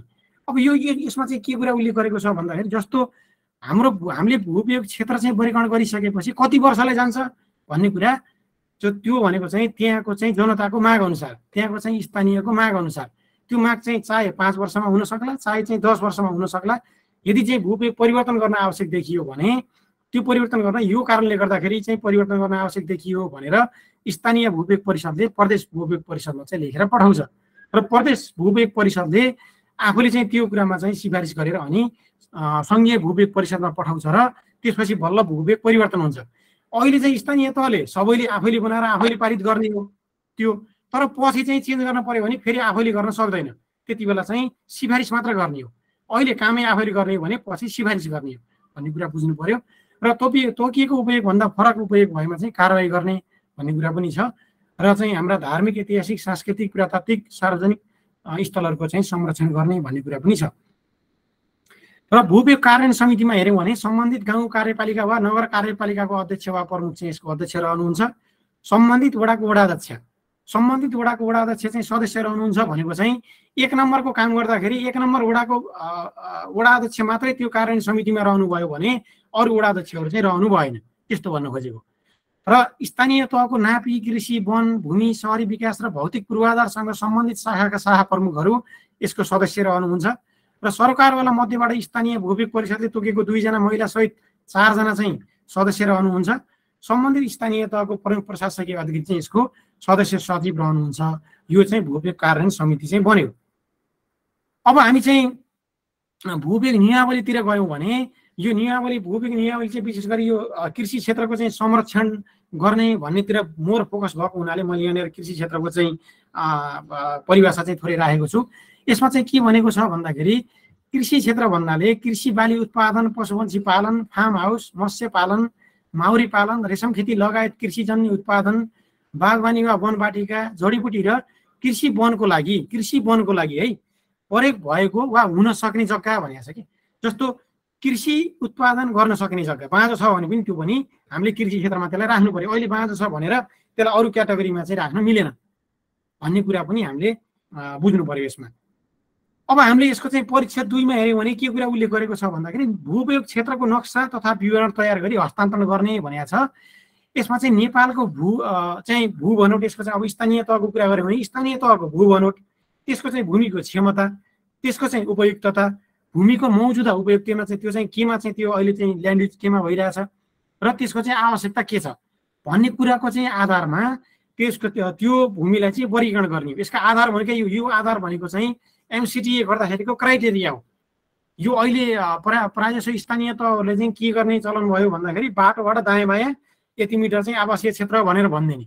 त्यो भन्दाखेरि सबै क्षेत्रमा त यो त नहुन सक्छ नि त। जस्तो बाटोबाट सय मिटर दायाँ बायाँ आवासीय क्षेत्र भन्यौँ भने त्यो सय मिटरको क्षेत्रमा पनि कहीँ चाहिँ भिर आइदेला कहीँ चाहिँ वन एरिया आइदेला कहीँ चाहिँ तपाईँको वान साइडेड मात्र चाहिँ तपाईँको चाहिँ बस्ती बसाउन मिल्ने होला कहीँ त्यहाँ बस्ती नै बसाउन नमिल्ने होला। त्यस्तो कुराहरू भएको हुनाले यो चाहिँ धेरै जसो स्थानीय तहबाट चाहिँ राम्रोसँग चाहिँ यो वर्गीकरण गरिएको अवस्था छैन। त्यो भएको हुनाले पनि हामीले चाहिँ के के कुरा चाहिँ यसको क्राइटेरिया के हो भन्ने कुरा भन्ने कुरा मेन बुझ्नु जरुरी छ। यी चारवटा क्राइटेरियाको क्राइटेरियाको आधारमा मन्त्रालयको चाहिँ यो भूमि ऐनको चाहिँ दफा पाँचको उपदफा एक को एक बमोजिम चाहिँ प्रत्येक स्थानीय तहको चाहिँ भूपयोग क्षेत्र नक्सा र सोको विवरण तयार गर्नुपर्ने छ भनेको छ। अब यो सङ्घीय लेभलले तयार तयार गरिसकेका छ। अब स्थानीय तहको कुरा गर्दाखेरि स्थानीय तहले चाहिँ आफ्नो भूपयोग क्षेत्रको भूपयोग नक्सा र विवरण विवरणको कितागत विवरण तयार गर्नु पर्यो अब यसको चाहिँ नक्सा प्रयोगमा चाहिँ विभागको चाहिँ हामीले सहयोग लिने जस्तो नक्सा त हामीसँग आइसकेका छ। अघि एकजना चाहिँ साथीले सोध्नु भएको थियो हामीसँग नक्सा छ यो चलाउन जानेनौँ भने तपाईँहरूले चाहिँ विभागको चाहिँ सहयोग लिन सक्नुहुन्छ। र स्थानीय तहको चाहिँ आवश्यकता चाहिँ हेरेर स्थानीय तहको आवश्यकता र भूपयोग नियमावलीको चाहिँ अनुसूची एक हेरेर सङ्घीय लेभलले दिएको भूपयोग नक्सालाई अध्यावधिक गर्ने हो। हामीले सुरुदेखि नै छुट्टै लेयर बनाएर गर्ने चाहिँ होइन त्यसलाई अध्यावधिक गर्ने हो। त्यो अध्यावधिक गर्ने कामको चाहिँ काममा चाहिँ हामीले यो क्राइटेरियाहरूलाई अहिले सकिसक्यो अब त वर्ष पनि सकिसक्यो भन्ने कुरा पनि आयो। र यो चाहिँ कृषि योग्य जग्गाको संरक्षणको लागि चाहिँ विशेष गरी भूपयोग नियमावली भूपयोग नीतिबाटै भनौँ न त्यो चाहिँ कुरा भएको देखिन्छ। र हामीले चाहिँ यसलाई ट्रायङ्गल बनाएर जस्तो हालको उपयोग के भएको छ स्थानीयको चाहिँ आवश्यकता के छ यसमा चाहिँ हामीले जोखिम चाहिँ के के जोखिम छन् त्यसमा जोखिम विश्लेषण गर्ने र स्थानीयको होस् अथवा चाहिँ सङ्घीयको होस् अथवा चाहिँ प्रदेशको होस् नबाजिने बाजिने हकमा चाहिँ सङ्घीयकै लागु हुन्छ।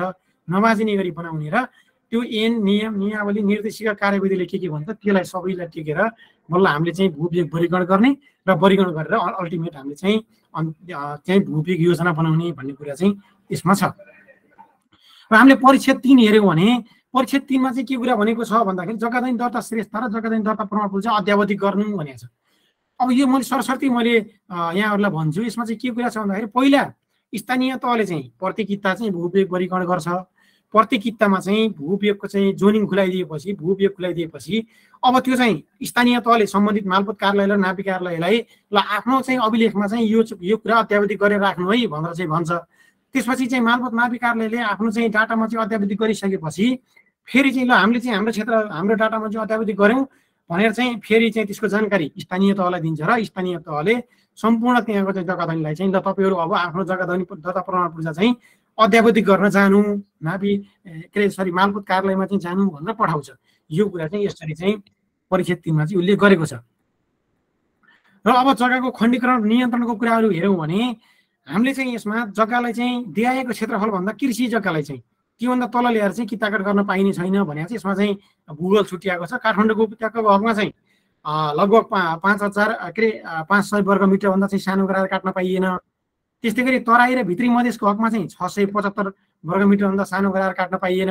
र योभन्दा चाहिँ उल्लेखित बाहेकका चाहिँ क्षेत्रमा चाहिँ हामीले हजार वर्ग मिटरभन्दा तल ल्याएर काट्न पाइएन। र यसको दुई नम्बरमा के कुरा उल्लेख गरेको छ भने यदि यो त्यो चाहिँ आवासीय क्षेत्रमा पर्ने हो भने यो आवासीय क्षेत्र भनेको अहिलेलाई चाहिँ यो चाहिँ संशोधन नहुँदाखेरि हामीले व्यवसायिक क्षेत्र पनि सम्झिनु पऱ्यो औद्योगिक क्षेत्र पनि सम्झिनु पऱ्यो यसमा चाहिँ एक सय तिस वर्ग मिटरभन्दा कम क्षेत्रफल हुने गरी काट्न पाइँदैन त्योभन्दा बढी चाहिँ काट्न पाइयो। अब यसको खमा के भनेको छ भन्दा यदि चाहिँ त्यो किताको चाहिँ क्षेत्रफल पाँच सय वर्ग मिटरभन्दा चाहिँ सानो छ भने त्यो किताको हकमा चाहिँ चौडाइभन्दा लम्बाइ चार गुणाभन्दा बढी हुने गरी काट्न पाइँदैन किन भन्दा माथि त्यो भनेको हुनाले कस्तो जस्तो हामीसँग चाहिँ पाँच सय वर्ग मिटरभन्दा सानो छ ल चार सय छ भने हामीले चाहिँ दस र चार गराउन पाइयो किन भन्दा चाहिँ चौडाइ चाहिँ चार गुणासम्म हुन पायो दस र चालिस हुन पायो भने हामीले चाहिँ यतातिर मोडा चाहिँ दस राख्ने पछाडि चाहिँ हामीले चाहिँ पचास साठी राख्छु भने चाहिँ पाइएन। हुन त त्यो चाहिँ त्यो हुँदाखेरि हाम्रो क्षेत्रफल पनि फरक पर्ला। त्यो चाहिँ पाँच सय वर्ग मिटरभन्दा सानो छ भने लम्ब त्यो मोडाभन्दा चाहिँ पछाडि चाहिँ हामीले चार गोडाभन्दा बढी गराएर काट्न पाइने छैन भनेको छ। तर यहाँनिर अर्को तिन चार पाँचमा के कुरा छ भन्दाखेरि माथि जे कुरा लेखिएको भए तापनि कुनै चाहिँ जग्गाको चाहिँ हाम्रो चाहिँ सेप मिल्दैन जस्तो त्रिभुजाकार जग्गा ट्रियाङ्गल जस्तो छ भने त्यहाँनिर हामीले ट्रियाङ्गल जस्तो घर बनाएर त बसिँदैन। अब हामीले त्यहाँनिर चाहिँ रेक्ट्याङ्गल गराउनु पऱ्यो अथवा स्क्वायर टाइपको गराउनु पऱ्यो भने हामीले चाहिँ छिमेकीबाट चाहिँ जग्गा त किन्नु पऱ्यो अथवा चाहिँ छिमेकीले बनाउनु छ भने हामीले छिमेकीलाई चाहिँ बेच्न सकिन्छ। त्यो कुरा गर्दाखेरि त्यसलाई चाहिँ हामीले प्लट मिलान प्लट मिलान चाहिँ हामीले गर्न सकिन्छ। त्यसको लागि चाहिँ एक सय तिस वर्ग मिटर भन्ने छैन। यसमा चाहिँ स्थानीय तहले आफ्नो मापदण्ड सेट गरेर ल हामीले चाहिँ प्लट मिलान हामीले यतिसम्म पनि गर्न सक्छौँ भनेर सेट गर्न सक्छ। र त्यो प्लट मिलान गर्दाखेरि कुनले गाभिने हो। त्यो त्यो जग्गा चाहिँ कतातिर गाभिने हो त्यसलाई त्यही किताबसँग गाभिने गरी हामीले प्लट मिलान चाहिँ गर्न गरिन्छ। यसमा चाहिँ स्थानीय तहको सिफारिसको अनुसार चाहिँ काम गर्ने भन्ने कुरा चाहिँ यसमा लेखिएको छ। र अब यो परीक्षा चारलाई नै हेऱ्यौँ भने विशेष गरी अब यो यो धेरै कुरा चाहिँ छ। यसमा चाहिँ हामी म सरस्वती भन्छु। स्थानीय तहले चाहिँ कृषिलाई चाहिँ विशेष गरी फोकस गऱ्यो भने यसको चाहिँ हामीले आधुनिकीकरण गर्नेतिर लाग्यौँ भने जस्तो चाहिँ गरा गरा भयो भने त्यो गरा गराबाट हामीले चाहिँ प्रत्येक गरामा हामीले चाहिँ खनेर चाहिँ उत्पादन गऱ्यौँ भने हामीले कुनै कुनासम्म गएर चाहिँ एक त खन्न पनि नसकिने अवस्था हुन्छ जस्तो चाहिँ अहिले ट्र्याक्टरले जोत्यो भने कुनामा गएर ट्र्याक्टरले चाहिँ नजोत्न सक्छ। त्यस्तो सानातिना साना साना उसले गर्दाखेरि हामीले त्यहाँबाट चाहिँ अप्टिमम युज गर्न सक्दैनौँ त्यसलाई भन्ने कुरा। म्याक्सिमम् युटिलाइज हामीले जसरी गर्न सकिन्छ नि हो त्यो कुरा चाहिँ हामीले त्यो जग्गालाई चाहिँ हामीले ठुलो प्लट गराएर गऱ्यौँ भने त्यसबाट बढी उत्पादन चाहिँ हुन्छ भन्ने तर्फबाट हामीले यो त्यो तर्फबाट चाहिँ सोचेर जग्गाको चाहिँ चक्लाबन्दी गर्न आवश्यक छ भन्दै स्थानीय तहलाई चाहिँ यो यो प्रदेश सरकारको चाहिँ समन्वयमा हुन्छ यो चाहिँ। त्यसरी चाहिँ यो चाहिँ हामीले स्थानीय तहको परि के अरे भूविज्ञ नियावलीको परिक्षेद चारमा लेखिया छ। यो चक्लाको चक्लाबन्दीको कुराहरू पनि छ यसमा। र अब हामी चाहिँ जाउँ। अब यो भनेको अनुसूची एकको कुरा हो। यो भनेको चाहिँ अनु यो नियमावलीको चाहिँ अनुसूची एक भनेको मापदण्ड भनेका क्राइटेरिया हुन्। यही क्राइटेरियाको बेसिसमा हामीले एमसिडिए गर्ने हो। त्यो एमसिडिएको बाट आएको रिजल्टबाट चाहिँ सुइटेबिलिटी म्याप निस्किन्छ। त्यो म्याप भनेकै हाम्रो चाहिँ यो म्याप हुन्छ। त्यो ल्यान्ड जोनिङको म्याप हुन्छ। जस्तो यसमा चाहिँ के भनेको छ भन्दाखेरि यो एकदेखि पाँचसम्मको कुरा गऱ्यो भने यहाँनिर कृषि उत्पादन हुन्छ भने कृषि क्षेत्रमा राख्ने भन्ने कुरा मात्रै छ यहाँनिर। यहाँनिर चाहिँ जस्तो हामीले चाहिँ पशुपालन गरेका छौँ भने पशुपालनको लागि चाहिँ घाँसे मैदान चरण क्षेत्र पनि र त्यो चाहिँ कृषि क्षेत्रमा पर्छ भन्ने कुरा यसको चाहिँ चार नम्बरले बताउँछ। त्यस्तै गरी हामी अब यो सात आठ नौ र दस हेऱ्यौँ भने अलिकति यहाँनिर अलिकति महत्त्वपूर्ण कुरा उल्लेख गरेको पाइन्छ। यसमा के भनिएको छ भन्दाखेरि कृषि क्षेत्रको चाहिँ हामीले उत्पादन गर्नको लागि कृषिजन्य पदार्थको उत्पादन गर्नको लागि चाहिँ भण्डार रेखदेख गर्न भण्डार गर्न सुकाउन तथा प्रशोधन गर्न वा पशुपालनको लागि प्रयोग भएको कुनै पनि भौतिक संरचना वा घर टहरा छ भने त्यो चाहिँ कृषि क्षेत्रमै पर्छ भनेको छ यसले। म मैले अहिले पनि भनेको थिएँ नि जस्तो प्लटमा चाहिँ एक दुईवटा घर बने भन्दैमा त्यो ठुलो प्लटलाई चाहिँ हामीले ल्यान्ड त्यसको जोन चाहिँ हामीले एसाइन गर्दाखेरि त्यसलाई हामीले एग्रिकल्चरमा राख्न सक्यौँ। त्यो कुरा चाहिँ यो सात नम्बरको पोइन्टले भन्छ। किन भन्दाखेरि अब अहिले त्यसलाई हामीले आज आवास हाल्यौँ भने त्यो महिना महिनौ दिनपछि त्यो चाहिँ स्वत चाहिँ सबै क्षेत्र नै मासिएर आवासमा जान्छ भन्ने कुरालाई त्यसैलाई चाहिँ अलिकति बााउन्ड गर्नको लागि होला सायद त्यो कुरा उल्लेख गरेको छ। र आठ नम्बरमा चाहिँ के भन्छ भन्दाखेरि खन्जुर गरी खेती लगाउन तयार गरिएको जग्गा वा खेती लगाउन उपयुक्त हुन सक्ने आवाज लायक प्रति वा बाँझो जग्गा भनेको छ यहाँ। त्यो जग्गा हामीले खन्जुत गरी खेती लगाउन सक्छौँ भने त्यो बाँझो छ भने पनि त्यो स्वतः कृषिमा राख्न सकिन्छ भनेको छ। र अर्को भनेको चाहिँ बसोबास र व्यावसायिक क्षेत्र वा अन्य उपयोग भएको क्षेत्रसँग जोडिएको भए तापनि किताको क्षेत्रफल यो चाहिँ एउटा किताको क्षेत्रफल पाँच हजार वर्ग मिटरभन्दा चाहिँ बढी भएर चाहिँ त्यो चाहिँ खेतीपाती गरिएको छ भने त्यो जग्गालाई स्वत हामीले कृषिमा राख्न सकिन्छ बाँझो छ भने पनि खेती गरिएको छ भने पनि भन्ने कुरा छ। त्यस्तै गरी एकै स्थानमा विभिन्न किताहरू जोडिएर एक हेक्टर वा सोभन्दा बढी क्षेत्रफलमा खेती गरिएका वा खनजोत गरिएका वा प्रति बाँझो खेतीयोग्य जग्गा भनेको चाहिँ यो चाहिँ जति एउटा ठाउँमा हामीले चाहिँ त्यो खेतीपाती नै गरिएको छ। त्यो ठाउँ चाहिँ जोडेर हेऱ्यौँ भने त्यसको चाहिँ टोटल क्षेत्रफल चाहिँ दस हजार वर्ग मिटरभन्दा चाहिँ मिटर छ त्योभन्दा बढी छ भने त्यो चाहिँ हामीले कृषि जग्गा भनेर हामीले राख्न सक्छौँ। अब त्यस्तै गरी हामी अनुसूची एकै खमा हेऱ्यौँ भने आवासीय क्षेत्रको मापदण्डको कुराहरू उल्लेख गरेका छ। यसमा यसमा चाहिँ सरस्वती म अहिले यसमा धेरै टाइम दिन चाहन्न किन भन्दाखेरि हामी सबैले यो पढिसके पढिसकेका छौँ। यसमा चाहिँ यदि त्यो ठाउँ चाहिँ कृषि भन्दा बाहेक चाहिँ नागरिक आवासको रूपमा चाहिँ त्यो चाहिँ घर भवनहरू घर टाराहरू सबै कुराहरू छ भने त्यो चाहिँ कृषि आवासमा जान्छ। त्यस्तै गरी हामीले चाहिँ प्लटिङका कुराहरू चाहिँ सबै विकसित अपार्टमेन्टहरू बहुतले भवनहरू आवासीय क्षेत्रहरूको फ्ल्याट रहेको जग्गाहरू यो सबै किसिमका जग्गाहरू चाहिँ पार्किङ स्थल बगैँचा मनोरञ्जन स्थलको चाहिँ प्रयोग मनोरञ्जन स्थलको लागि चाहिँ प्रयोग भएको चाहिँ जग्गाहरू त्यस्तै ग्रामीण क्षेत्रमा बनेको घर अनि त्यसको चाहिँ आँगन चोकहरू घरसँगै जोडिएको गोठ चर्पी करेसाबारी र त्यो घर अगाडि भएको बगैँचा र त्यसले चर्चेको जग्गाहरू सबै आवासीय स्तरमा जान्छ भन्ने कुराहरू यसमा छ। अब यहाँनिर अर्को चाहिँ क्राइटेरियाको कुरा गऱ्यौँ भने यहाँनिर के छ भन्दाखेरि बसोबासको लागि आवश्यक आधारभूत भौतिक पूर्वाधार तथा सडक विद्युत खानेपानी वा ढल निकास लगायतको व्यवस्था भएको क्षेत्रबाट रहेको ए क्षेत्रमा रहेको एक हजार वर्ग मिटरभन्दा साना किताहरू त हामीले स्वत त्यसलाई चाहिँ आवासमा हाले भयो। त्यो चाहिँ बसोबास क्षेत्रमा छन् र किताको क्षेत्रफल एक हजारभन्दा साना छन् भने त्यो किताहरू स्वतः चाहिँ आवासीय क्षेत्रमा चाहिँ हामीले राख्न सक्यौँ। र बसोबास क्षेत्रमा उपयोग गर्न आवश्यक न्यूनतम पूर्वाधारको विकास भएको किता जग्गा रहेको ठाउँबाट एक सय मिटरको अर्धव्यासमा जस्तो हाम्रो जग्गा छ त्यो जग्गाबाट एक सय मिटरको अर्धव्यासमा चाहिँ करिब एक सय पचास एकात्मक परिवार र दसभन्दा बढी चाहिँ संयुक्त परिवारको चाहिँ छ भने त्यसलाई चाहिँ हामीले यो चाहिँ आवासीय क्षेत्रमा राख्ने। अब यो एक सय पचास कसरी छुट्याउने अथवा चाहिँ यो संयुक्त परिवार कसरी छुट्याउने भनेर गर्दाखेरि हामीले अहिले सेटेलाइट इमेजबाट टेन्टेटिभ हेर्ने। जस्तो हामीसँग एउटा त नापी विभागले दिएको ल्यान्डेज जोनको नक्सा पनि छ। र चाहिँ त्यति बेलाको चाहिँ प्रिजेन्ट ल्यान्डेजको कुराहरू पनि भयो। त्यस्तै गरी अहिले आइपुग्दाखेरि हामीसँग चाहिँ सेटेलाइट इमेज हेरेर त्यो ठाउँमा चाहिँ त्यति धेरै आवास देखिन्छ भने त्योबाट चाहिँ लगभग हाम्रो सय मिटरको चाहिँ अर्धव्यासमा रहेको क्षेत्रहरू हामीले बसोबास क्षेत्रको रूपमा राख्न सक्छौँ। त्यो पनि हामीले एउटा क्राइटेरिया लगाउन सक्छौँ। त्यस्तै गरी हामीले व्यावसायिक क्षेत्र हेऱ्यौँ भने वस्तु वा सेवाको खरिद बिक्री हुने ठाउँ चाहिँ व्यावसायिक क्षेत्रतिर पर्यो। यसमा चाहिँ व्यावसायिक तरिकाले चाहिँ मनोरञ्जन स्थल छ हामीले चाहिँ पैसा तिरेर चाहिँ जाने आउने कुराहरू छ भने त्यसको लागि छुट्याइएको घर जग्गा अथवा निजी क्षेत्रबाट सञ्चालन गरिएको चाहिँ शिक्षा स्वास्थ्य सञ्चार लगायतका सेवा उपलब्ध गराउने स्थलहरू र कुनै यन्त्र वा उपकरण मर्मत गर्ने वा सफा वा भण्डारण गरिएको स्थल वा सो जग्गाले चर्चेको क्षेत्रहरू पर्यटकीय गतिविधिमा चाहिँ उपयोग भइरहेको जग्गाहरू चाहिँ सबै हामीले व्यावसायिक क्षेत्रमा राख्न सक्छौँ। र यसमा अघि मैले यहाँनिर यो जुन रेडियसको कुरा गरेका थिएँ यसमा चाहिँ त्यो चाहिँ क्षेत्र चाहिँ हाम्रो जग्गा चाहिँ पचास व्यावसायिक घरधुरीको हकबाट चाहिँ सय मिटरको क्षेत्रमा छ भने त्यो चाहिँ त्यो जग्गा फेरि हाम्रो व्यावसायिक क्षेत्रमा पर्ने भयो। त्यो कुरा पनि यहाँनिर एउटा क्राइटेरियाको रूपमा राख्न सकिन्छ।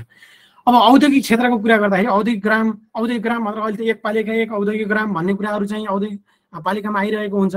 त्यो क्षेत्र चाहिँ त्यसले चर्चेको क्षेत्रहरू सबै चाहिँ औद्योगिक जग्गा भयो।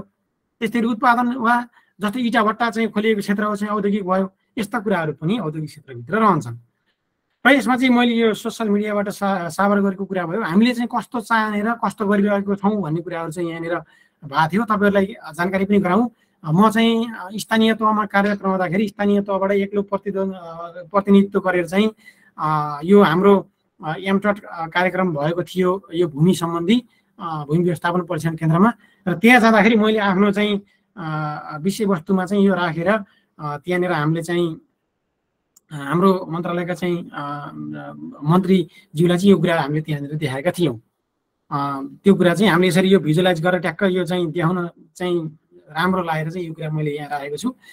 र हामीले यो भूवियोगको कुराहरू हेऱ्यौँ भने हामीले पहिला चाहिँ हाम्रो चाहिँ बाजेहरूको पालामा चाहिँ जुन भूवियोग भएको थियो त्यो कुरा नै एकदम व्यवस्थित र त्यही कुरा राम्रो हो भन्ने कुरा चाहिँ हामीले अहिले चाहिँ त्यो चाहिँ रियलाइज गर्न सक्छौँ। जस्तो पहिला के थियो भन्दाखेरि खोला नाला थियो खोला नालाको साइडमा चाहिँ हाम्रा चाहिँ त्यो बेसी भन्छौँ नि त्यहाँनिर खेतहरू थियो अनि हामी चाहिँ हामी चाहिँ बेसीभन्दा माथि चाहिँ डाँडामा आएर चाहिँ हाम्रो चाहिँ बस्ती हुन्थ्यो। बेसी गर्नको लागि खेत खेतीपाती गर्नको लागि बेसी झर्नु पर्थ्यो। अनि चाहिँ अन्नहरू चाहिँ पछि चाहिँ भण्डार गर्नको लागि चाहिँ हामीले चाहिँ फेरि त्यसलाई चाहिँ माथि चढेर चाहिँ भनौँ न अलिकति चाहिँ त्योभन्दा अलिकति कमसल खालको चाहिँ जमिनमा चाहिँ हामी बस्थ्यौँ भन्ने कुरा चाहिँ यो चाहिँ तस्विरले चाहिँ जनाएको छ। यो कुरा पनि व्यवस्थित छ भन्ने कुरा भयो। र हजुरहरूलाई मैले यो यो कुरा पनि जानकारी गराउँ। मैले चाहिँ तुलसीपुर उपमहानगरपालिका चाहिँ पालिकामा त्यो पालिकाभित्रको चाहिँ ल्यान्ड जोनिङ नक्सा गराउँदाखेरि सुरुमा मैले के गरेँ भन्दाखेरि तालिम लिन नजाँदा तालिम लिएपछिको चाहिँ यो फरक हो यो चाहिँ। जस्तो पहिले हामीले के गरियो भन्दाखेरि बाटोको दायाँ बायाँ नै हेरियो किन भन्दाखेरि अब स्थानीयको आवश्यकता भनिएको छ बाटो चाहिँ एउटा पूर्वाधार हो त्यसैको आधारमा ल्याउन त। अब यत्र धेरै पूर्वाधार यत्र धेरै क्राइटेरियाहरू हामीले हेरिसक्यौँ। त्यसमध्ये एउटा मात्रै क्राइटेरिया लिएर हामीले चाहिँ काम गरेका थियौँ। अब त्यसरी गर्दाखेरि चाहिँ ठ्याक्कै नागबेली जस्तो देखिने भयो सर र त्यो नागबेली जस्तो भएको भयो। र त्यो ठाउँ हेर्दाखेरि सबै ठाउँ त हाम्रो त आवासको लागि चाहिँ उपयोग हुनु भयो के अरे उपयोगमा आउन सक्ने भएन। त्यो हेर्दाखेरि किन भन्दाखेरि कुनै ठाउँमा त आवास गराउन मिल्ला तर चाहिँ नमिल्ने ठाउँहरू पनि हुन्छन्। अनि करको किसिमले सोच्ने भने भोलि हाम्रो यो भनेको त करसँग डाइरेक्ट जोडिएको हुन्छ। अब तपाईँको जग्गा चाहिँ आवास बनाउन नमिल्ने टाइपको छ। भोलि बिहान त्यो जग्गाले चाहिँ कर चाहिँ आवासको तिर्नु पर्यो भने खेतीपातीमै जोडिएको चाहिँ आश्रित परिवार अथवा चाहिँ कृषिमै आश्रित परेको परिवार अथवा चाहिँ भनौँ न कर चाहिँ त्यसरी चाहिँ त्यो कर चाहिँ करको चाहिँ हामीले लोड लगायौँ भने त्यो चाहिँ अलिकति चाहिँ राम्रो त्यसले चाहिँ पक्कै पनि त्यो चाहिँ त्यो राम्रो चाहिँ बन्दैन त्यो राम्रो चाहिँ भूवियोग परिकर चाहिँ हुँदैन। त्यसले चाहिँ करको क्षेत्रमा यो हामीले भूवियोग नक्सा भनेको एउटा उत्पादनतिरबाट पनि हेर्न सकिन्छ भने अर्को चाहिँ राज्यले चाहिँ लिने राजस्व चाहिँ राजस्वको तरिकाले पनि यसलाई हेरिन्छ। त्यो भएको हुनाले हामीले पालिकामा गएर कार्यक्रम गर्न अलिक धेरै नै गाह्रो हुन्छ यो। म आफैले पनि महसुस गरेको कुरा हो। हामीले एउटैतिरबाट एक एउटा एङ्गलले बुझाइराख्दाखेरि उहाँहरूले चाहिँ त्यो सबै ठ्याक्क ठ्याक्क करमा त्यो हिसाब गरेर करतिरबाट बुझिराख्नु भएको हुन्छ। त्यसले गर्दाखेरि अलिकति बुझाउनलाई चाहिँ गाह्रो छ। त्यो हुनाले बनाउँदाखेरि नक्सा चाहिँ सबै क्राइटेरियाको मापदण्डलाई मिट गरेर मात्रै गराउनु पर्यो। र अर्को क्षेत्रको हेऱ्यौँ भने त्यही क्षेत्रको यो बिचको चाहिँ जुन तपाईँहरूले आवासीय क्षेत्रभन्दा चाहिँ यतापट्टिको पहिलेको नक्सामा देख्नु भएको छ यो यो यो क्षेत्रको चाहिँ मैले यहाँनिर बनाएको छु। यसमा ल हेऱ्यौँ भने कति धेरै फरक आउँदो रहेछ। ल हेर्नुहोस् त पहिला चाहिँ नागबेली जस्तो थियो भने अहिले मापदण्ड लगाएर हेर्दाखेरि जहाँनिर यो रातो कलर देख्नु भएको छ त्यो भनेको चाहिँ आवासीय क्षेत्र हो र बाहिरको चाहिँ यो चाहिँ कृषि क्षेत्र हो। यो अर्को चाहिँ यो चाहिँ वन क्षेत्र हो। यो अरू क्षेत्रहरू यहाँनिर जस्तो निलो देख्नु भएको छ यो चाहिँ हाम्रो चाहिँ खोला नालाका क्षेत्रहरू भयो यस्तै किसिमका थुप्रै क्षेत्रहरू छन्। यो कुराहरू हामीले क्राइटेरियाहरू लगाएर चाहिँ निकालेको चाहिँ नक्सा हो। अब यो हामीले त्यति बेला चाहिँ एमटट चलिरहँदाखेरि हामीले धुलीखेल नगरपालिकाको वडा नम्बर चारको चाहिँ नमुनाको रूपमा काम गरेका थियौँ। त्यसमा चाहिँ हामीले उहाँ जनप्रतिनिधिहरूलाई चाहिँ बोलाएर उहाँहरूलाई चाहिँ राखेर कर्मचारीहरू साथीहरूलाई बोलाएर अनि उहाँहरूको अगाडि चाहिँ हामीले सेटेलाइट इमेजबाट नापी विभागले त्यति बेला दिएको नक्सा र अनि त्यो नक्सालाई हेरेर यसमा चाहिँ ठाकुर सर पनि यहाँ हुनुहुन्छ होला। ठाकुर सरले र मैले चाहिँ यसमा काम गरेका थियौँ। अनि यो गरेर हामीले चाहिँ यो माथिको नक्सा चाहिँ नापी विभागले दुई हजार पचहत्तर सालमा हस्तान्तरण गरेको चाहिँ ल्यान्ड युजको जोनको नक्सा हो भने तलको भनेको त्यसैको चाहिँ अध्यावधिक गरेर हामीले चाहिँ बनाएको नक्सा हो अहिले। यो हेर्दाखेरि हामीले यसमा पनि हामीले चाहिँ सबै त्यही त्यही नापी विभागको डाटाले नै अध्यावधिक गरेर चाहिँ यस्तो नक्सा हामीले बनाएको छौँ। यसमा चाहिँ एउटा यो चाहिँ पब्लिक युजमा चाहिँ देखिन्छ। यो एलएमटिसीको भाग पनि पब्लिक युजमा आएको छ। र यो भनेको हाम्रो केहीलाई पनि हामीले त्यति बेला पब्लिक उसमै राखेका थियौँ। त्यो कुरा हामीले यसरी यहाँनिर देख्न सक्छौँ। र अब स्थानीय तहलाई चाहिँ कस्तो डाटा हस्तान्तरण गरेको छ नापी विभागले भनेर चाहिँ म तपाईँहरूलाई यहाँनिर क्लिक गरिराखेको छु त्यो देखाउँछु। अब यहाँनिर के छ भन्दाखेरि यो हाम्रो यो जुन पिकेजी ट्वेन्टी टू गुल्मी भन्ने भनेको यो चाहिँ हाम्रो डाटाबेस हो। यो डाटाबेसभित्र चाहिँ एउटा एडमिन भन्ने छ यो चाहिँ फिचर क्लासहरू हुन्। यसमा चाहिँ एउटा क्याडेस्टे भन्ने छ एउटा गापा नापा एउटा जियोलोजी ग्रिडिसहरूको कुराहरू भयो हाइड्रोको कुराहरू भयो ल्यान्डिसको कुराहरू भयो रिस्कको कुराहरू भयो। अनि सोइलको कुराहरू भयो ट्रान्स ट्रान्सपोर्टेसनको नेटवर्कको कुराहरू भयो। अब यी फिचर क्लासहरूभित्र पनि यसका सेफाइलहरू छन्। जस्तो एडमिनको हेऱ्यो भने मैले यहाँ एरो देखाएको छु यो एरो एरोलाई फलो गर्दै आउनुभयो भने यहाँ आइन्छ। यहाँनिर जस्तो यसको बााउन्ड्री कस्तो छ? अनि बााउन्ड्रीमा पनि जिल्लागत जिल्लाको बााउन्ड्री कस्तो छ? त्यस्तै गरी गाउँपालिका नगरपालिकाको बााउन्ड्रीहरू भयो त्यस्तै गरी त्यहाँको वडाको बााउन्ड्रीहरू भयो। अब स्थानीय तहमा अहिले साथीहरूले सुन्नु होला हाम्रो चाहिँ नापी विभागले दिएको वडाको र हामीहरू चाहिँ चलन चल्तीको त्यहाँनिर कर उठाउने चाहिँ जुन पहिलाको चाहिँ वडा सिमाना थियो त्यो चाहिँ फरक छ भन्नु होला अब यसमा चाहिँ कस्तो छ भन्दाखेरि अहिले हामीले बनाउँदाखेरि नापी विभागले नै दिएको डाटा अध्यावधि गर्नै पर्ने भएको हुनाले त्यसैमै बसेर गर्ने यदि त्यो पालिकाभित्रैको कुरा छ भने। र त्यो त्यो विवादलाई चाहिँ उ गर्नको लागि त्यो यदि दुईवटा पालिका अन्तरपालिका छ भने दुईवटा पालिकाको नगरसभाबाट चाहिँ नाप जन नाप नक्सा गर्ने भनेर चाहिँ अनुमति त्यो पारित गराएर नाप नक्सा चाहिँ प्रदेश सरकारको चाहिँ अन्तर्गत रहने गरी एउटा यो मलाई लाग्छ स्थानीय सरकार सञ्चालन ऐनमा पनि लेखेको छ कि के छ त्यहाँनिर। मैले यो कतै आफूले पढ्दाखेरि देखेको थिएँ। त्यसरी जाने हो त्यो समिति नै तोकिएको छ। तर स्थानीय तहको पनि भित्र चाहिँ पालिकाको कुरा गर्ने हो भने हामीलाई अहिले स्थानीय तहको पालिकाभित्र नै काम गर्नुपर्ने हुन र पालिकाभित्रकै वर्गीकरण गरेपछि त्यहीँनिरको ट्याक्स हुने भएको हुनाले खासै त्यस्तो फरक त पर्दैन। यो ल्यान्ड नक्सा बनाउनुको लागि। तर अब तपाईँहरूले चेन्ज गर्न गर्ने हो भने नापी विभागसँग चाहिँ समन्वय गरेर तपाईँहरूले चाहिँ काम गर्नुपर्ने हुन्छ त्यो खण्डमा। यदि चाहिँ बााउन्ड्री ठिक छ भने त समस्या भएन। त्यो कुराहरू छ भने अब क्याडेस्टेको कुराहरू गर्दाखेरि यहाँनिर क्याडेस्टल सुपर इम्पोज गरेको चाहिँ डाटा दिएको छ। नापी विभागले प्रत्येक स्थानीय तहहरूलाई त्यो पनि दुई हजार पचहत्तर सालमा गर्दाखेरि पहिलाको जियो डाटाबेस नै दिएको हुनाले त्यो चाहिँ अपडेटेड चाहिँ छैन। त्यो स्थानीय तहहरूले त्यहीँनिर भएको डाटाबेसको अनुसार चाहिँ साबिक किताको आधारमा भयो भने कितागत विवरण तयार गर्ने र साबिकको हेरेर चाहिँ पछि नापी कार्यालयले अथवा चाहिँ नापी विभागले नै जनशक्ति खटिएर त्यो चाहिँ पछि अध्यावधिक गर्दै लैजाने हो त्यस्तै गरी अब गाउँपालिका नगरपालिकाको यो माथि पनि एडमिनमा पनि आएको छ। यहाँनिर चाहिँ त्यसको सिमाना भयो।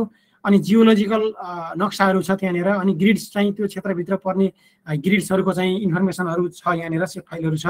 त्यस्तै गरी हाइड्रोलोजीको कुराहरू छ यसमा चाहिँ रिभर नेटवर्कहरूको कुराहरू छ। त्यस्तै गरी ल्यान्डवेजमा चाहिँ ल्यान्डवेज हेऱ्यौँ भने हामी अहिले फोकसै यसमा छौँ विशेष गरी यहाँनिर हेऱ्यौँ भने ल्यान्डवेजमा चाहिँ अब हामीले गर्दाखेरि एग्रिकल्चर पकेट एरिया भनेर पनि राखेका थियौँ। यो चाहिँ तुलसीपुरमा तर यो पकेट एरिया भनेको कृषि क्षेत्रको सबसेट हो। एग्रिकल्चर एरियाको सबसेट भएको हुनाले त्यो चाहिँ एग्रिकल्चरमा स्वतः आइहाल्छ। यसमा चाहिँ अब ल्यान्ड इज फोल्डर यो फिचर क्लासभित्र हेऱ्यो भने यहाँनिर ल्यान्ड क्यापाबिलिटी त्यसको चाहिँ उत्पादनको हिसाबले चाहिँ गराएको नक्सा छ। त्यस्तै गरी ल्यान्ड सिस्टम त्यो हाम्रो चाहिँ त्यो चाहिँ स्वरूप कस्तो छ? त्यो भूमिको चाहिँ स्वरूप हेरेर त्यो चाहिँ त्यसको चाहिँ कति डिग्रीका चाहिँ हामीसँग उयोहरू छन् सबै कुरा सबै एङ्गलबाट चाहिँ त्यो नक्साहरू बनेको छ। त्यस्तै गरी ल्यान्ड युज चाहिँ प्रिजेन्ट ल्यान्ड युज त्यसलाई चाहिँ ल्यान्ड युज इन्टरसेक्ट भनेको छ नि त्यो भनेको प्रिजेन्ट ल्यान्ड युज त्यो भनेको त्यति बेला बनाउने टाइममा कस्तो थियो त त्यो ल्यान्ड युज त्यो ल्यान्ड युज चाहिँ त्यो त्यसको पनि नक्सा छ भने अर्को चाहिँ ल्यान्ड युज जोन त्यही प्रिजेन्ट ल्यान्ड युजमा बेस भएर हाम्रो ल्यान्ड युज जोन नक्सा भनेको प्रिजेन्ट ल्यान्ड युजबाट बन्ने हो। प्रिजेन्टमा कस्तो छ? त्यसलाई हेरेर हामीले त्यसलाई जोनिङ गर्ने हो। त्यो भएको हुनाले ल्यान्ड युज जोनिङको चाहिँ नक्साहरू छ त्यसमा त्यस्तो कुराहरू छ। र रिस्कको कुराहरू हेऱ्यौँ भने फायरका रिक्सहरू कता कता हुन्छन् अनि फ्लोडका चाहिँ कता कता छन् इन्डस्ट्रियल हाजार चाहिँ त्यहाँनिर आउन सक्ने सम्भावित क्षेत्रहरू कता छन् त्यस्तै गरी चाहिँ ल्यान्डस्लाइडका चाहिँ क्षेत्रहरू कता छन् यी विभिन्न टाइपले चाहिँ हामीले यसरी चाहिँ हामीले यसलाई क्लासिफाई गरेर पनि एनालाइसिस गर्न सक्छौँ। र सोइलको हेऱ्यौँ भने सोइलका पि सोइल पिटपट्टि त्यति बेला चाहिँ हामीले चाहिँ सोइलको स्याम्पलहरू लिएका ठाउँहरू कता कता थिए र त्यसपछि नक्सा कस्तो बन्यो भन्ने कुराहरू पनि त्यो डाटाबेस डाटाबेसभित्र छ। यी कुराहरू चाहिँ नाभि विभागले हस्तान्तरण गरेको डाटाबेसमा हुन्छ। र अब यहाँनिर एउटा land use present land use र ल्यान्ड युज जोनको कुराहरू छ। प्रेजेन्ट ल्यान्ड युज भनेको चाहिँ जस्तो तरिकाले उपयोग भएछ त्यसलाई चाहिँ नक्सामा देखाउने भयो भने ल्यान्ड युज जोन भनेको त्यो हेरेर त्यसलाई जोनिङ गर्ने।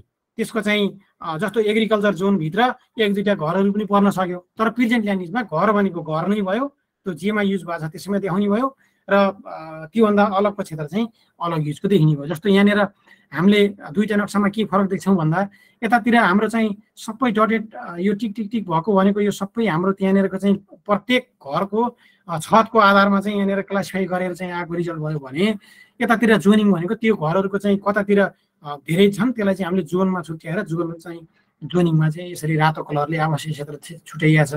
अनि यो पहेँलो कलरले हामीलाई कृषि योग्य जमिन छुट्याइएको छ। त्यस्तै चाहिँ विभिन्न क्षेत्रमा छुट्याइएको छ। अब यो चुनौतीको नक्सा भनेर मैले यहाँनिर राखेको छु। यो भनेको चाहिँ यो नक्सा चाहिँ कम्प्लिट चाहिँ छैन। यसमा यसमा थुप्रै किसिमका चुनौतीहरू चाहिँ हामीले सामना गर्नुपर्ने हुन्छ। जस्तो यो नागबेली जस्तो गएको चाहिँ बाटोको आधारमा हामीले क्लासिफिकेसन गऱ्यौँ भने त्यसबाट हामीले जोनिङ गऱ्यौँ भने त्यसले गर्दाखेरि एक त करै अब त्यो करको कुराबाट पनि विवाद आउँछ। अब त्यो चाहिँ परेक भयो। केही केहीमा पनि ल खेतीपाती पनि नभएको ठाउँमा भिरालै छ जमिन। अब त्यो जमिनको बाटोको दायाँ गर्दाखेरि ल त्यो चाहिँ आवासमा आइदियो भने अब त्यहाँनिरको चाहिँ जग्गा धनी जग्गा धनीले त्यो कसरी आवासको चाहिँ तिर्ने बस्नलाई चाहिँ घर बनाउनु मिल्दैन होइन? त्यो भएको हुनाले यसरी गर्दाखेरि चाहिँ थुप्रै समस्याहरू निम्तिन्छन् त्यो भएको हुनाले यो चाहिँ खासै चाहिँ समाधानको उपाय होइन र यसलाई चाहिँ मैले यहाँ वर्कफ्लो पनि अब तपाईँहरू समक्ष यहाँ कार्य प्रक्रिया भनेर यो अलिकति महत्त्वपूर्ण नै आजको यो हाम्रो छलफलै यही यो मेन यसको चाहिँ महत्त्वपूर्ण विषय नै यो भएको हुनाले अलिकति यसमा अलिकति टाइम स्पेन्ड गरौँ। अब यसमा चाहिँ के छ भन्दाखेरि सुरुमा चाहिँ स्थानीय यो मैले स्थानीय भूवियोग परिषदको यो स्थानीय तहको चाहिँ भूवियोग सम्बन्धी यो काम कार्यक्रम भएको हुनाले चाहिँ हामीले स्थानीय तहबाट मात्र हेर्छौँ यसमा। यसमा के छ भन्दाखेरि स्थानीय भूवियोग परिषद हुने भयो पहिला त्यो भनेको कार्यपालिका हुने भयो। अब स्थानीय यो र यसमा एउटा कुरा चाहिँ यो तपाईँहरूको सल्लाह सुझाव पनि मैले यो अन्त्यमा चाहिँ यसमा अपेक्षा गरेको छु है। यो म आफैले त्यति बेला गर्दाखेरिको चाहिँ मैले तयार गरेको भएको हुनाले यसमा चाहिँ अझै यसलाई चाहिँ सहज तरिका लैजान पनि सक्ने भएको हुनाले त्यति बेला हजुरहरूको यो सुझाव पनि आउला भन्ने अपेक्षा राख्दै म यो सुरु गर्छु। अब यसमा के छ भन्दाखेरि स्थानीय भूपयोग परिषद अन्तर्गत चाहिँ भूपयोग कार्यान्वयन समितिको गठन हुन्छ। भूपयोग कार्यान्वयन समिति अन्तर्गत चाहिँ वडा स्तरीय सहजीकरण समिति हुन्छ। अब कुनै पनि स्थानीय तहले मैले परामर्शदाताको चाहिँ सहयोगमा काम गर्छु भने पनि पायो। कुनै स्थानीय तहले होइन म चाहिँ आफ्नै जनशक्ति अथवा चाहिँ विभागबाट सहयोग गरेर हाम्रो चाहिँ भएको जनशक्ति परिचालन गरेर काम गर्छु भने पनि पायो। ती भएको हुनाले परामर्शदाताको चाहिँ सहयोग पनि मैले भूवियोग कार्यान्वयन समितिमा ल्याएर जोडेँ किन भन्दा त्यसको अन्तर्गत रहेर काम गर्ने भयो अब वडा स्तरीय सहजीकरण समितिमा कि त परामर्शदाता सहितको टिम पनि आउने आउन सक्ने भयो कि त हाम्रो त्यहीँ भित्रको टिम आउन सक्ने भयो। अनि हामीले चाहिँ भूवियोग कार्यान्वयन समितिको जुन समितिका सदस्यहरू हामीले छलफल गरेका थियौँ त्यही पनि आउन सक्ने भयो। अब त्यसपछि वडा स्तरीय सहजीकरण समितिले चाहिँ को कोलाई ल्याउँछ भन्दाखेरि सरकारवाला सबैलाई ल्याउने भयो। सरकारवाला सबैलाई ल्याएर त्यहाँनिर मिटिङ चाहिँ सेट हुने भयो। अनि त्यो मिटिङ सेट गर्दाखेरि चाहिँ अब के हुने भन्दाखेरि भूपेको मापदण्डहरू चाहिँ के के मापदण्ड राख्ने भन्ने कुरा त्यहाँनिर छलफल हुने भयो। अब त्यसमा भूपेक परिषदले त्यो भनेको हाम्रो फेरि माथि आउने भयो। त्यो परिषदले एन नियम नियमावली निर्देशिका कार्यविधि के के बनाएको छ त्यो कुरालाई एउटा क्राइटेरिया क्राइटेरियाको रूपमा राख्ने भयो एउटा मापदण्ड। त्यस्तै गरी अर्को भनेको चाहिँ यो वडा स्तरीय सहजीकरण समितिले चाहिँ भूमिको चाहिँ बनोट कस्तो प्रक्रिया टाइपको छ त्यसै गरी भूमिको क्षमता कस्तो छ भूमिको चाहिँ मौजुदा उपयोग चाहिँ केमा भइरहेको छ अहिले स्थानीयको आवश्यक आवश्यकता चाहिँ के देखि देखिन्छ त्यहाँ र जोखिम चाहिँ के छ त्यो सबै कुरालाई विश्लेषण गरेर भूवियोग चाहिँ मापदण्ड सेट गर्ने भयो अनि त्यो त्यसमा चाहिँ सरकारवाला मध्य सरकारवालाले पनि त्यसमा आफ्नो चाहिँ राय सुझावहरू दिनु दिनुभएको हुनाले त्यो पनि भूवियोग मापदण्डभित्र जोडियो। अब यो तिनवटा कुरालाई चाहिँ हेरेर यो तिनवटा कुरालाई चाहिँ हामीले चाहिँ क्राइटेरियाको रूपमा राखेर हामीले एमसिडिए गर्न सक्यौँ। अब त्यो एमसिडिए गरिसकेपछि हाम्रो भूवियोग नक्सा बन्ने भयो। अनि भूवियोग नक्सा बनिसकेपछि प्रत्येक पालिकाभित्रको चाहिँ कितागत भूवियोग विवरण तयार गर्न गर्ने भयो। हामीले पहिला नक्सा बनेपछि बल्ल तयार हुन्छ। अनि त्यो गरिसकेपछि हामीले सबै कुरालाई चाहिँ हामीले एउटा फोल्डरमा चाहिँ के अरे जियो डाटाबेसमा डाटाबेसमा राख्छौँ। अनि डाटाबेसमा राख्ने राखिसकेपछि कितागत विवरण सहितको हाम्रो राजपत्र प्रकाशन गर्ने भयो त्यो चाहिँ भूवियोग परिषदले गर्ने भयो। अनि स्थानीय राजपत्रमा प्रकाशन गरिसकेपछि नापी कार्यालय कार्यालय र मालपोत कार्यालयलाई त्यो भनेको चाहिँ सङ्घीय अन्तर्गत परेको र प्रदेशलाई पनि प्रदेश मन्त्रालयमा भूमि हेर्ने मन्त्रालयमा। त्यो चाहिँ पठाउनु पर्ने अब त्यो चाहिँ मालपोत कार्यालयले आफूसँग भएको चाहिँ अभिलेख चाहिँ अध्यावधिक गर्न र नापी कार्यालयले पनि आफ्नो अध्या अभिलेख अध्यावधिक गर्नको लागि अब स्थानीय भूवि परिषदले नापी र मालपोत कार्यालयलाई पठाउँछ। अनि त्यो पठाइसकेपछि नापी तथा मालपोत कार्यालयको जिम्मेमा के रहने भने भयो भन्दाखेरि आफ्नो क्षेत्रभित्रको चाहिँ सबै अभिलेखहरू चाहिँ अध्यावधिक गर्ने। कसरी गर्ने भन्दाखेरि स्थानीय तहले दिएको नक्सा र कितागत विवरणको आधारमा अध्यावधिक गर्ने। र त्यो अध्यावधिक गरिसकेपछि त्यसको चाहिँ जानकारी फेरि स्थानीय पालिकालाई दिने। त्यो चाहिँ नापी मालपत्र दिने भयो अनि नापी मालि मालपत्र चाहिँ त्यो जानकारी चाहिँ स्थानीय पालिकालेलाई दिइसकेपछि अब स्थानीय पालिकाले हामीले परीक्षा दुईमा भने जस्तो। अब ल तपाईँहरू आफ्नो चाहिँ पूर्जाहरू चाहिँ पूर्जामा भएको चाहिँ बिरह। अब हामीले अहिले चाहिँ क्षेत्रभन्दा चाहिँ अब दुई सिम चार भने पनि अब चाहिँ हाम्रो त्यस्तरी चाहिँ उही भएन। अब चाहिँ दसवटा क्षेत्रमा केमा पऱ्यो? ल तपाईँहरू चाहिँ आफ्नो चाहिँ अध्यावधि गर्न जानु भनेर चाहिँ कितागत तरिकाले चाहिँ के अरे उसलाई जग्गाधनीलाई चाहिँ मालपत कार्यालय र नापी कार्यालयमा पठाउँछ सूचना प्रकाशन गर्छ र त्यसपछि सरकारवालाहरू सबै त्यहाँ जानुहुन्छ अनि अपडेटेड चाहिँ आफ्नो चाहिँ जग्गाधनी प्रमाण पूर्जा लिनुहुन्छ। यो कुरा चाहिँ यसरी चाहिँ हामीले काम चाहिँ गर्ने हो स्थानीय तहहरूले भन्ने कुरा यहाँनिर छ। यहाँनिर यो यो मैले यहाँनिरको बनाएको यो फ्लो चार्टमा कुन चाहिँ प्रोसेस हो कुन चाहिँ यसको चाहिँ आउटपुट हो कुन चाहिँ यसमा चाहिँ मेटोटाटा हो यो कुराहरू चाहिँ यहाँ तल मैले राखेको छु। यस्तो कुराहरू यस्तो ढङ्गबाट हामीले काम गर्न सकिन्छ। यसरी गरे मैले चाहिँ तुलसीपुरमा रहँदाखेरि यसरी काम गरेको थिएँ भन्ने कुरा पनि एउटा मेरो अनुभव पनि भयो। अर्को भनेको तपाईँहरूले पनि यही यही नै फलो गर्नुपर्छ भन्ने कुरा त होइन। आफू चाहिँ कसरी जाँदा सजिलो हुन्छ त्यसरी जाने हो। तर यो कुराहरूले चाहिँ तपाईँहरूलाई सहयोग गर्ला भन्ने कुरा म स्थानीय तहमा कार्यरत साथीहरूलाई पनि भनेर नापिका कार्यालय र मालपोत कार्यालयमा कार्यरत हुनुभएको चाहिँ सरहरूलाई पनि यसरी चाहिँ स्थानीय तहबाट आएको डाटाहरूलाई अध्यावधिक गर्ने भन्ने कुरा यहाँ देखिन्छ। अब हामीले अलिकति यो नियमावलीको कुरा हेऱ्यौँ भने नियमावलीको चाहिँ मापदण्डहरू कुनै कुनै ठाउँमा बाजिएको देखिन्छ। बाजिएको जस्तो पनि छ। कस्तो छ भन्दाखेरि नियमावलीको चाहिँ अनुसूचीको कको दफा नौ र दस त्यो भनेको चाहिँ अघि मैले भनेको थिएँ जुन पाँच हजार वर्ग मिटरभन्दा चाहिँ प्रति किताको क्षेत्रफल बढी छ भने स्वत कृषिमा हुने र अर्को चाहिँ एकै स्थानमा जोडिएर चाहिँ एक हेक्टरभन्दा बढी छ भने त्यसलाई चाहिँ खेतीपातीमा युज भएको छ भने त्यसलाई चाहिँ कृषिमै लैजाने भन्ने किसिमको मापदण्ड र एकको खको दफा छ भनेको चाहिँ जस्तो हाम्रो चाहिँ जग्गा एक सय मिटरको रेडियसमा चाहिँ एक सय पचास एकात्मक परिवार चाहिँ बस्छ भने त्यो जग्गा स्वत चाहिँ उसमा आवासीयमा राख्न मिल्ने भन्ने दफा चाहिँ एक आपसमा कन्फ्लिक्ट छ। अब यो हामीले जिएसमा चाहिँ एमसिटिए गरेर हेऱ्यौँ भने यस्तो प्रकृतिको रिजल्ट आउँछ यो। यो चाहिँ मैले यस्तो प्रकृतिको निकालेको थिएँ। अब हामीले कुनलाई कुन दफालाई चाहिँ लागू गर्ने भन्ने कुरा हामीले त्यति बेला भूमि व्यवस्थापन परीक्षण केन्द्रमा चाहिँ छलफल गऱ्यौँ।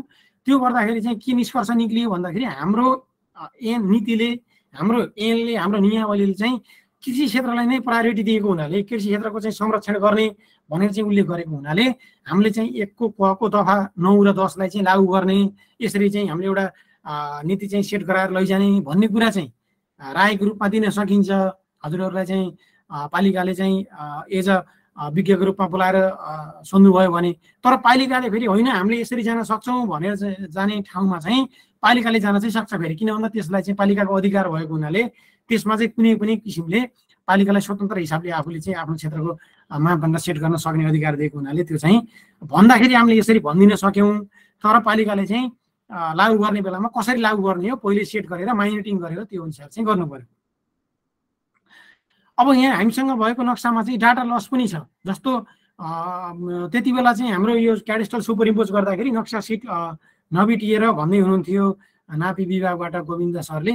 नक्सा सिट नबिट नबिटिएर कन्सल्टेन्सीले चाहिँ जति चाहिँ राख्यो त्यो अनुसारको मात्र गएको छ र यो चाहिँ नापी विभागलाई हामीलाई चाहिँ भन्नुभयो भने हामीले फेरि पछि अपडेट गरेर पठाउँछौँ भन्नुभएको थियो। यदि त्यस्तो चाहिँ छ भने कुनै पालिकामा तपाईँहरूले चाहिँ विभागसँग चाहिँ सहकार्य गरेर काम गर्नुपर्ने देखिन्छ। र कुनै कुनै ठाउँमा चाहिँ यो नक्सा नम्बरमा चाहिँ सरी किता नम्बरमा चाहिँ जिरो जिरो जिरो भएर आएको छ कुनै त्यस्तो समस्याहरू छ। कुनैमा नौ नौ नौ छ होइन? अब नौ नौ नौ नौ भएको चाहिँ त्यति बेला चाहिँ अपडेट गर्दा नबुझ्ने किताहरूलाई नौ नौ नौ राखिदिएको भन्ने हुनुहुन्छ। र यो जिरो जिरो भएको चाहिँ त्यति बेला ओभरले गर्दा सुप्रिम कोर्ट गर्दाकै समस्या हो। यसलाई चाहिँ नापिका विभागसँग सहकार्य गरेर त्यति यो त्यो चाहिँ अपडेटेड त्यो क्षेत्रमा चाहिँ अपडेटेड किता क्याडेस्टल सुप्रिम कोर्ट गरेर त्यो नक्सामा चाहिँ काम गर्नुपर्ने देखिन्छ।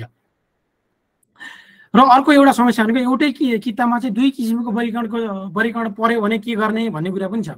जस्तो यहाँनिर तपाईँहरूले देख्नु देख्दै हुनुहुन्छ रातो भनेको चाहिँ आवासीय क्षेत्र भयो भने पहेँलो भनेको चाहिँ कृषि क्षेत्र भयो। अब यो किता चाहिँ लामा लामा किताहरू छन् यो दुइटै क्षेत्रमा चाहिँ टच गरेका छन्। अब यो कुरालाई चाहिँ स्थानीय तहले क्लियरली रूपमा जुन चाहिँ हाम्रो वडा स्तरीय सहजीकरण समिति बनेर चाहिँ त्यहाँनिर चाहिँ छलफल हुन्छ नि हाम्रो अघि यो यो भूप्रयोग मापदण्ड सेट गर्ने भन्ने कुरामा यो मापदण्ड सेट गर्ने कुरामा त्यो कुरा उठाउनु पर्ने भयो। यदि कुनै पनि कितामा दुईवटा क्षेत्र पर्यो भने अथवा तिनवटा पर्न सक्छ अथवा चारवटा पर्न सक्छ त्यसलाई चाहिँ राम्रो भनेको चाहिँ एरिया बेसिसमा काम गर्न सकिन्छ जस्तो बढी एरिया चालिस साठी गराउने जुन साठी हुन्छ त्यही त्यसैमा चाहिँ हामीले लैजान लैजाने भन्ने कुरा पनि सेट गर्न सकिन्छ। अथवा चाहिँ त्यहाँनिर के निष्कर्ष निस्कन्छ त्यो चाहिँ वडा स्तरीय सहजीकरण समितिले निकालेको निष्कर्षको आधारमा सेट गर्ने गर्नुपर्ने हुन्छ। सजिलोको लागि भन्यो भने जसले चाहिँ बढी एरिया चाहिँ ओगटेको छ जुन क्षेत्रले त्यही क्षेत्रमै त्यसलाई चाहिँ लैजाने। किन भन्दा एउटा क्षेत्र त दुइटै किसिममा हुने भएन। किन भन्दा किता भनेको त प्रत्येक स्थानमा हक भोग किसिममा किसिममा समानता हो। त्यो भएको हुनाले किसिम त एउटै हुनु पर्यो। त्यो हुँदाखेरि एउटा मात्रै क्षेत्रमा चाहिँ लानुपर्ने देखिन्छ। र यति भन्दै मैले तुलसीपुरमा गरेको कुराहरू र यहाँ अलिअलि नियम नियमावलीको कुराहरू चाहिँ फेरि रिक्याप चाहिँ गरेँ। र यसमा हजुरहरूको चाहिँ जिज्ञासा र सुझावहरू केही छ भने हजुरहरूले राख्न सक्नुहुन्छ। मेरो प्रेजेन्टेसन चाहिँ यति नै हो। धन्यवाद सो हामीले धेरै कुराहरू चाहिँ जान्न पायौँ। आजको कुराहरूमा चाहिँ जुन हिसाबले ल्यान्ड जोनीको कुराहरू छ त्यसमा चाहिँ एउटै मात्र डाइमेन्सन छैन। मल्टी डाइमेन्सन छ मल्टिफ्यासेटेड छ। सो साथीहरूसँग धेरै प्रश्न छन् जस्तो मलाई पनि लाग्छ है। सो आज धेरै कुराहरू चाहिँ आएको छ ब्याकग्राउन्डमा हामीले प्रश्नहरू चाहिँ टिपेका पनि छौँ। र त्योभन्दा अगाडि चाहिँ म के अनुरोध गर्न चाहेँ भनेपछि आज चाहिँ प्रदीपजीको सेसनमा चाहिँ रेकर्ड पनि ब्रेक भयो। हामी सेभेन्टी फोर सेभेन्टी फाइभ पार्टिसिपेन्टहरू पनि थियौँ। सो थ्याङ्क यू प्रदीपजी। यसको कति आवश्यकता छ भन्ने कुराहरू चाहिँ यहीँबाट बुझिन्छ है। सो रेकर्ड ब्रेक चाहिँ भइरहँदाखेरि चाहिँ धेरैजनालाई यो बारेमा चाहिँ जान्न चाहनु भएको छ। सो त्यहाँबाट पनि थाहा पाउन सकिन्छ। र यो युट्युबमा पनि यो रेकर्डेड भर्जन चाहिँ तपाईँहरूलाई चाहिँ एभाइलेबल हुनेछ। र प्रदीपजीले चाहिँ यो प्रेजेन्टेसन स्लाइडहरू सेयर गर्नुहुन्छ है। हस् हुन्छ सर म गर्छु। उहाँले चाहिँ प्रेजेन्टेसन स्लाइड सेयर गर्नुहुन्छ जुन चाहिँ हाम्रो युट्युब च्यानलको डिस्क्रिप्सनमा चाहिँ हामीले राखेको हुनेछौँ। सो हाम्रो युट्युब च्यानल चाहिँ नेपाल जियोमेटिक्स इन्जिनियरिङ सोसाइटी हो। र अहिले एकजना साथीले चाहिँ एनजिएस को आफ्नो लिङ्क चाहिँ राखिदिनुहुन्छ है युट्युबको र त्यो भनिरहँदाखेरि चाहिँ म एकचोटि चाहिँ सबै साथीहरूलाई चाहिँ आफ्नो क्यामेरा अन गर्नको लागि चाहिँ आग्रह गरेँ। सो हामी चाहिँ एउटा चाहिँ स्क्रिनसटहरू यो आफैमा एउटा उपलब्धि हो। सो यो उपलब्धि चाहिँ हामी रेकर्ड गर्न चाहन्छौँ। सो मिल्ने साथीहरूले चाहिँ कृपया सकेसम्म सबै साथीहरूले है। सो आजको यो सेसनमा चाहिँ सो प्रदीपजी तपाईँको स्क्रिन चाहिँ उ गरिदिनुहोस् न है। सो हामीसँग जोडिएका सबै साथीहरूलाई रेकर्ड हुने गरी हामी चाहिँ एउटा स्क्रिनसटहरू लिँदैछौँ। सो त्यसपछि चाहिँ हामी प्रश्नहरू लिन्छौँ है। सो त्यसपछि हामी प्रश्नहरू लिन्छौँ नै। साथीहरू हात्तिनु पर्दैन। सो आजको यो रेकर्ड ब्रेकिङ सेसन थियो। धेरै हदसम्म त यो फोर्टी फाइभ सायद लोएस्ट नै होला। अहिले चाहिँ लोएस्ट होला खाना खाने टाइम पनि भयो। र सेभेन्टी फाइभ थियो। र फिफ्टी फिफ्टी फाइभ सिक्सटी त जेनरल्ली थियो नै। सो हुन्छ साथीहरू धन्यवाद। धन्यवाद। र अब चाहिँ हामी प्रश्न लिन्छौँ। तपाईँहरूलाई मैले कुराएँ सो त्यसको लागि म क्षमा प्रार्थी छु। किनभने चाहिँ यो एउटा फ्लोमा गइरहेको सेसनलाई चाहिँ बिचमा ब्रेक पनि गर्न सकिँदैन र तपाईँहरूले बुझेर ह्यान्ड रेज गरेर अहिलेसम्म पर्खिदिनु भयो त्यसको लागि धेरै धेरै धन्यवाद। र सुनिलजीको प्रश्न म लिन चाहन्छु सुनिल म्याक्स भनेर आफूले चिनाउनु भएको छ यहाँ। सो सुनिलजी तपाईँको प्रश्न राख्न सक्नुहुन्छ।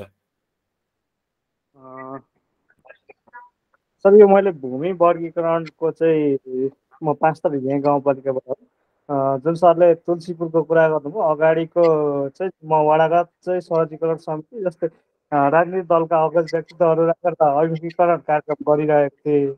त्यसै क्रममा काटेर आइरहेछ तपाईँको। सुनिलजी तपाईँको आवाज चाहिँ अलिकति काटेर आइरहेछ। अलिकति डिस्टर्ब छ। मेबी इयरफोन लाउनु भएको छ अनि चाहिँ निकालेर कुरा गर्नुहोस् है। मेरो जुन सरले तुलसीपुरको कुरा गर्नुभयो नि हजुर हजुर हजुर। त्यस त्यस्तै मैले चाहिँ मेरो वाडामा चाहिँ अभिमुखीकरण कार्यक्रम गरिरहेको थिएँ। वडाहरूमा चाहिँ मेरो सातवटा वडा छ पाँच तारिक गाउँपालिका त्यसमा चाहिँ जुन तपाईँले भन्नुभयो अगाडि बाटो त्यही नै लोजिक लाएर मैले काम गरिरहेको थिएँ। सात नम्बर वडामा पुग्दाखेरि ठ्याक्कै तुलसीपुरले चाहिँ यसरी गर्यो भनेर न्युज आयो क्या। जुन जुन फलोअप गरिरहेको थिएँ बाटोको क्राइड एरिया तुलसीपुर उपमहानगरले गर्यो भन्ने कुरा भएपछि मलाई चाहिँ गजबै भइहाल्यो त्यो कुरा त। अनि मैले त्यसैलाई गरेर लगेँ। अनि पछिल्लो क्रममा चाहिँ अलिकति बाटो क्राइडियालाई मान्दाखेरि अलि हुँदैन कि भन्नेहरू कुराहरू आइरहेछ। अनि अब हामीलाई भू उपयोग नक्सा सम्बन्धी चलाउनलाई त्यति धेरै ज्ञान छैन पनि। त। अनि के छ भने भू उपयोग नक्सा जुन विभागबाट प्राप्त भएको छ त्यसमा चाहिँ एक्ज्याक्ट डाटाहरू छैन क्या धेरै कुराहरू मिसिङ छ। जुन अनि बाटोको क्राइटेरिया मानेर गर्दाखेरि पनि त्यो नक्सालाई अपडेट गराउनलाई पनि बाटो चाहिँ जुन अहिले हालमा भएको भन्दा लगभग पन्ध्र बिस मिटर डिफ्रेन्स देखिन्छ क्या त्यो नक्सामा चाहिँ। त्यसले गर्दाखेरि अलि त्यो विभागसँग लिएको डाटाबाट काम गर्दाखेरि पनि एकुरेसी चाहिँ अलि आउँदैन भन्ने लाग्छ मलाई लाग्नु चाहिँ। के कति अहिले सुधार भएको छ भन्ने कुरो त मलाई थाहा भएन। अगाडि जुन हामीले प्राप्त गरेको एकचोटि प्राप्त गरेको डाटामा चाहिँ अलि एकुरेसी छैन सर। अनि यसलाई हामीले चाहिँ त्यो जुन बाटोको क्राइड एरियालाई नै मानेर गरेका छौँ र बस्तीको आधारलाई गरेका छौँ घर भएको क्षेत्रलाई स्वत आवास भइहाले। अनि त्यसमा चाहिँ अब मेरो चाहिँ पाहाडी मुलुक भएकोले गर्दाखेरि एउटै किताब पचास रुपियाँसम्म छ क्या अनि यो केसमा चाहिँ त्यसलाई त्यो हेर्दाखेरि बाटोले पनि छोएको छ। करिब डेढ दुई सय मिटरसम्म उसको बाटोले छोया हुन्छ। अनि डेढ दुई सय हुँदाखेरि उसलाई पचास मिटरसम्म बाटो छोएको पचास मिटरसम्म भाग दिँदाखेरि पनि तपाईँको पाँच हजार दस हजार वर्ग मिटरभन्दा माथि गइहाल्छ क्या। त्यसलाई अनि फेरि कृषिमा पनि राख्न सकिएन। तुरुन्तै चाहिँ उसको कारोबार नभइकन चाहिँ दुई किता बनाएर राख्न राख्न मिल्ने कि नमिल्ने भन्ने कुराहरू हजुर। हस् धन्यवाद। अब यसमा चाहिँ मैले त्यो अघि अघि पनि भने कस्तो हुन्छ भन्दाखेरि बाटोको अनुसार चाहिँ हामीले बाटोको मात्रै मापदण्डहरू भूपयोग नियमावलीले भनेको छैन। किन भन्दाखेरि बाटो चाहिँ एउटा पूर्वाधारलाई लिएको छ। पूर्वाधारको आधारमा पनि गर्न सकिन्छ भन्ने कुरा मात्रै छ। र यसमा तपाईँहरूले चाहिँ जुन नक्साको कुरा गर्नुभयो नि क्याडेस्टल नक्सा त्यो भनेको डाटा लस चाहिँ भएकै हो र त्यसमा चाहिँ सुपर इम्पोज गर्दाखेरि पनि समस्या चाहिँ देखिएकै हो। तर तर त्यहाँभित्रका चाहिँ जुन किता नम्बर छ नि किता नम्बर भनेको त यताउता सरे पनि नम्बर त त्यही हुन्छ। तपाईँले के गर्न सक्नुहुन्छ भन्दाखेरि त्यहाँ तपाईँहरूको क्षेत्रभित्र भएका किता नम्बरहरूको चाहिँ कति छ त्यसको क्षेत्रफल? त्यो चाहिँ तपाईँले जिआइएसमा चाहिँ निकाल्न सक्नुहुन्छ नि त। अनि त्यो क्षेत्रफल निकालिसकेपछि तपाईँसँग चाहिँ भएको त्यो त्यो किताहरूलाई चाहिँ अब अहिले भएको चाहिँ त्यो सेटेलाइटको माथि त्यसलाई राखेर कति छन् कुन कुन किताहरू चाहिँ अहिले चाहिँ तपाईँको चाहिँ सम्पूर्ण चाहिँ उसमा परिवर्तन भएर गइसक्यो आवासमा? र कतिपय किताहरू चाहिँ अहिले पनि त्यहाँ त खेतीपाती भइरहेको होला। यदि पाँच हजारको मापदण्ड लगाउँदाखेरि छ सय पचहत्तरको मापदण्ड लगाउँदा के सरी एक हजार दस हजार वर्ग मिटरको मापदण्ड लगाउँदाखेरि र एक सय मिटरको अर्धव्यासको मापदण्ड लगाउँदाखेरि त्यो भनेको तपाईँले एमसिटिए नै गर्ने हो। त्यो एमसिटिए गर्दा जुन रिजल्ट आउँछ त्यो आएको रिजल्टलाई बल्ल तपाईँले कम्पेरिजन गर्ने हो कि त्यहाँनिर नक्सामा तपाईँको नापी विभागले दिएको जुन भूप्रयोग जोनको नक्सा छ त्यो नक्सामा तपाईँहरूले तपाईँले बनाएको एमसिटिए गरेर बनाएको त्यो नक्सालाई कम्पेरिजन गर्ने हो। अनि तपाईँले प्रत्येक चाहिँ वडागत रूपमा तपाईँले त्यसलाई चाहिँ एडिट गर्दै लैजाने हो। हामीले छुट्टै नयाँ लेयरमा बसेर गऱ्यौँ भने तपाईँले भने जस्तो सिफ्ट हुने। अब अहिले तपाईँले पुरानो नक्सालाई अहिले चाहिँ सेटेलाइटमा हेर्दाखेरि ठ्याक्कै त मिल्दैन। त्यो नमिलेको चाहिँ धेरै ठाउँमा नमिलेको हुन्छ। अब ग्रिड सिटमा त त्यति धेरै समस्या मैले देखिनँ तर फ्री सिटमा धेरै नै समस्या आउँछ। त्यही भएर तपाईँले नापी विभागले जुन जोन तपाईँलाई उपलब्ध गराएको छ त्यही जोनमा बसेर काम गर्नु पर्यो। काम गर्दाखेरि बाटोको आधार त एउटा आधार छ। अरू आधार भनेको तपाईँले चाहिँ त्यसको एरियाको आधार लिनु पर्यो। एरियाको आधार लिँदाखेरि यो ठाउँमा तपाईँको अहिले बस्ती विकास भएर भइसकेको छ भने त्यो त स्वत सबै त्यो अब अहिले पाँच हजारभन्दा ठुलो छ भने पनि त्यसलाई त आवासमै राख्नु पर्यो। र हुन बाँकी छ भने त्यसलाई चाहिँ तपाईँले त्यहाँनिर एउटा स्तरीय सहजीकरण समितिमा छलफल गराउनु पर्यो। हाम्रो क्षेत्र चाहिँ यो यो क्षेत्रमा तपाईँको पर्छ यति जग्गा तपाईँको पर्छ जस्तो तपाईँले અહીં पचास रुपियाँको कुरा गर्नुभयो नि। पचास रुपियाँ उहाँले खेतीपाती नै गर्नु भएको छ भने त त्यो त भूपेको नियावलीले नै कृषिमा राख भन्छ नि त। होइन म कृषिमा राखिदिनँ भन्नुहुन्छ भने अहिले त तपाईँको चाहिँ प्रतिकिता त सबै स्वत तपाईँको आवासमा जाने देखियो। भोलि बिहान उहाँले तपाईँको बाटोको मापदण्ड राखेर चाहिँ अथवा बाटोको मापदण्ड नभनौँ क्राइटेरियाले तपाईँको जहाँनिरसम्म त्यसलाई आवासमा दिन्छ। त्यहाँनिर त चाहिँ काटेर त्योभन्दा पछाडि चाहिँ अर्को उपयोग गराउन सक्नुहुन्छ। परिवर्तन गर्न सकिने पनि त कुरा त उल्लेख गरेको त छ नि त सिफारिस त गर्छ नि त पछि त्यति बेला। त्यो कुरा चाहिँ अलिकति परिवर्तन गर्नको लागि अब झन्झटिलो चाहिँ पक्कै छ किन भन्दाखेरि तिनवटा तहमा लानुपर्ने भएको हुनाले। तर गर्न सक्ने त सकिन्छ नि त त्यो कुरा पनि हेर्नु पर्यो। अनि विशेष गरी त तपाईँहरूले यो भूवियोग नियमावलीलाई चाहिँ नि एकदम उहाँहरूलाई भन्दाखेरि भूवियोग नियमावलीलाई नै पहिला भनिदिनु पऱ्यो कि त्यसको अनुसूचीहरू क्लियरली भनिदिनु पऱ्यो त्यो भनेर होइन अब पचास रुपियाँ नै मैले चाहिँ आवासमा प्रयोग गर्छु भनेर आउनुहुन्छ भने उहाँ चाहिँ स्थानीय तहको चाहिँ स्थानीय तहले चाहिँ आफ्नो अधिकार क्षेत्रमा भएको कुरा हो।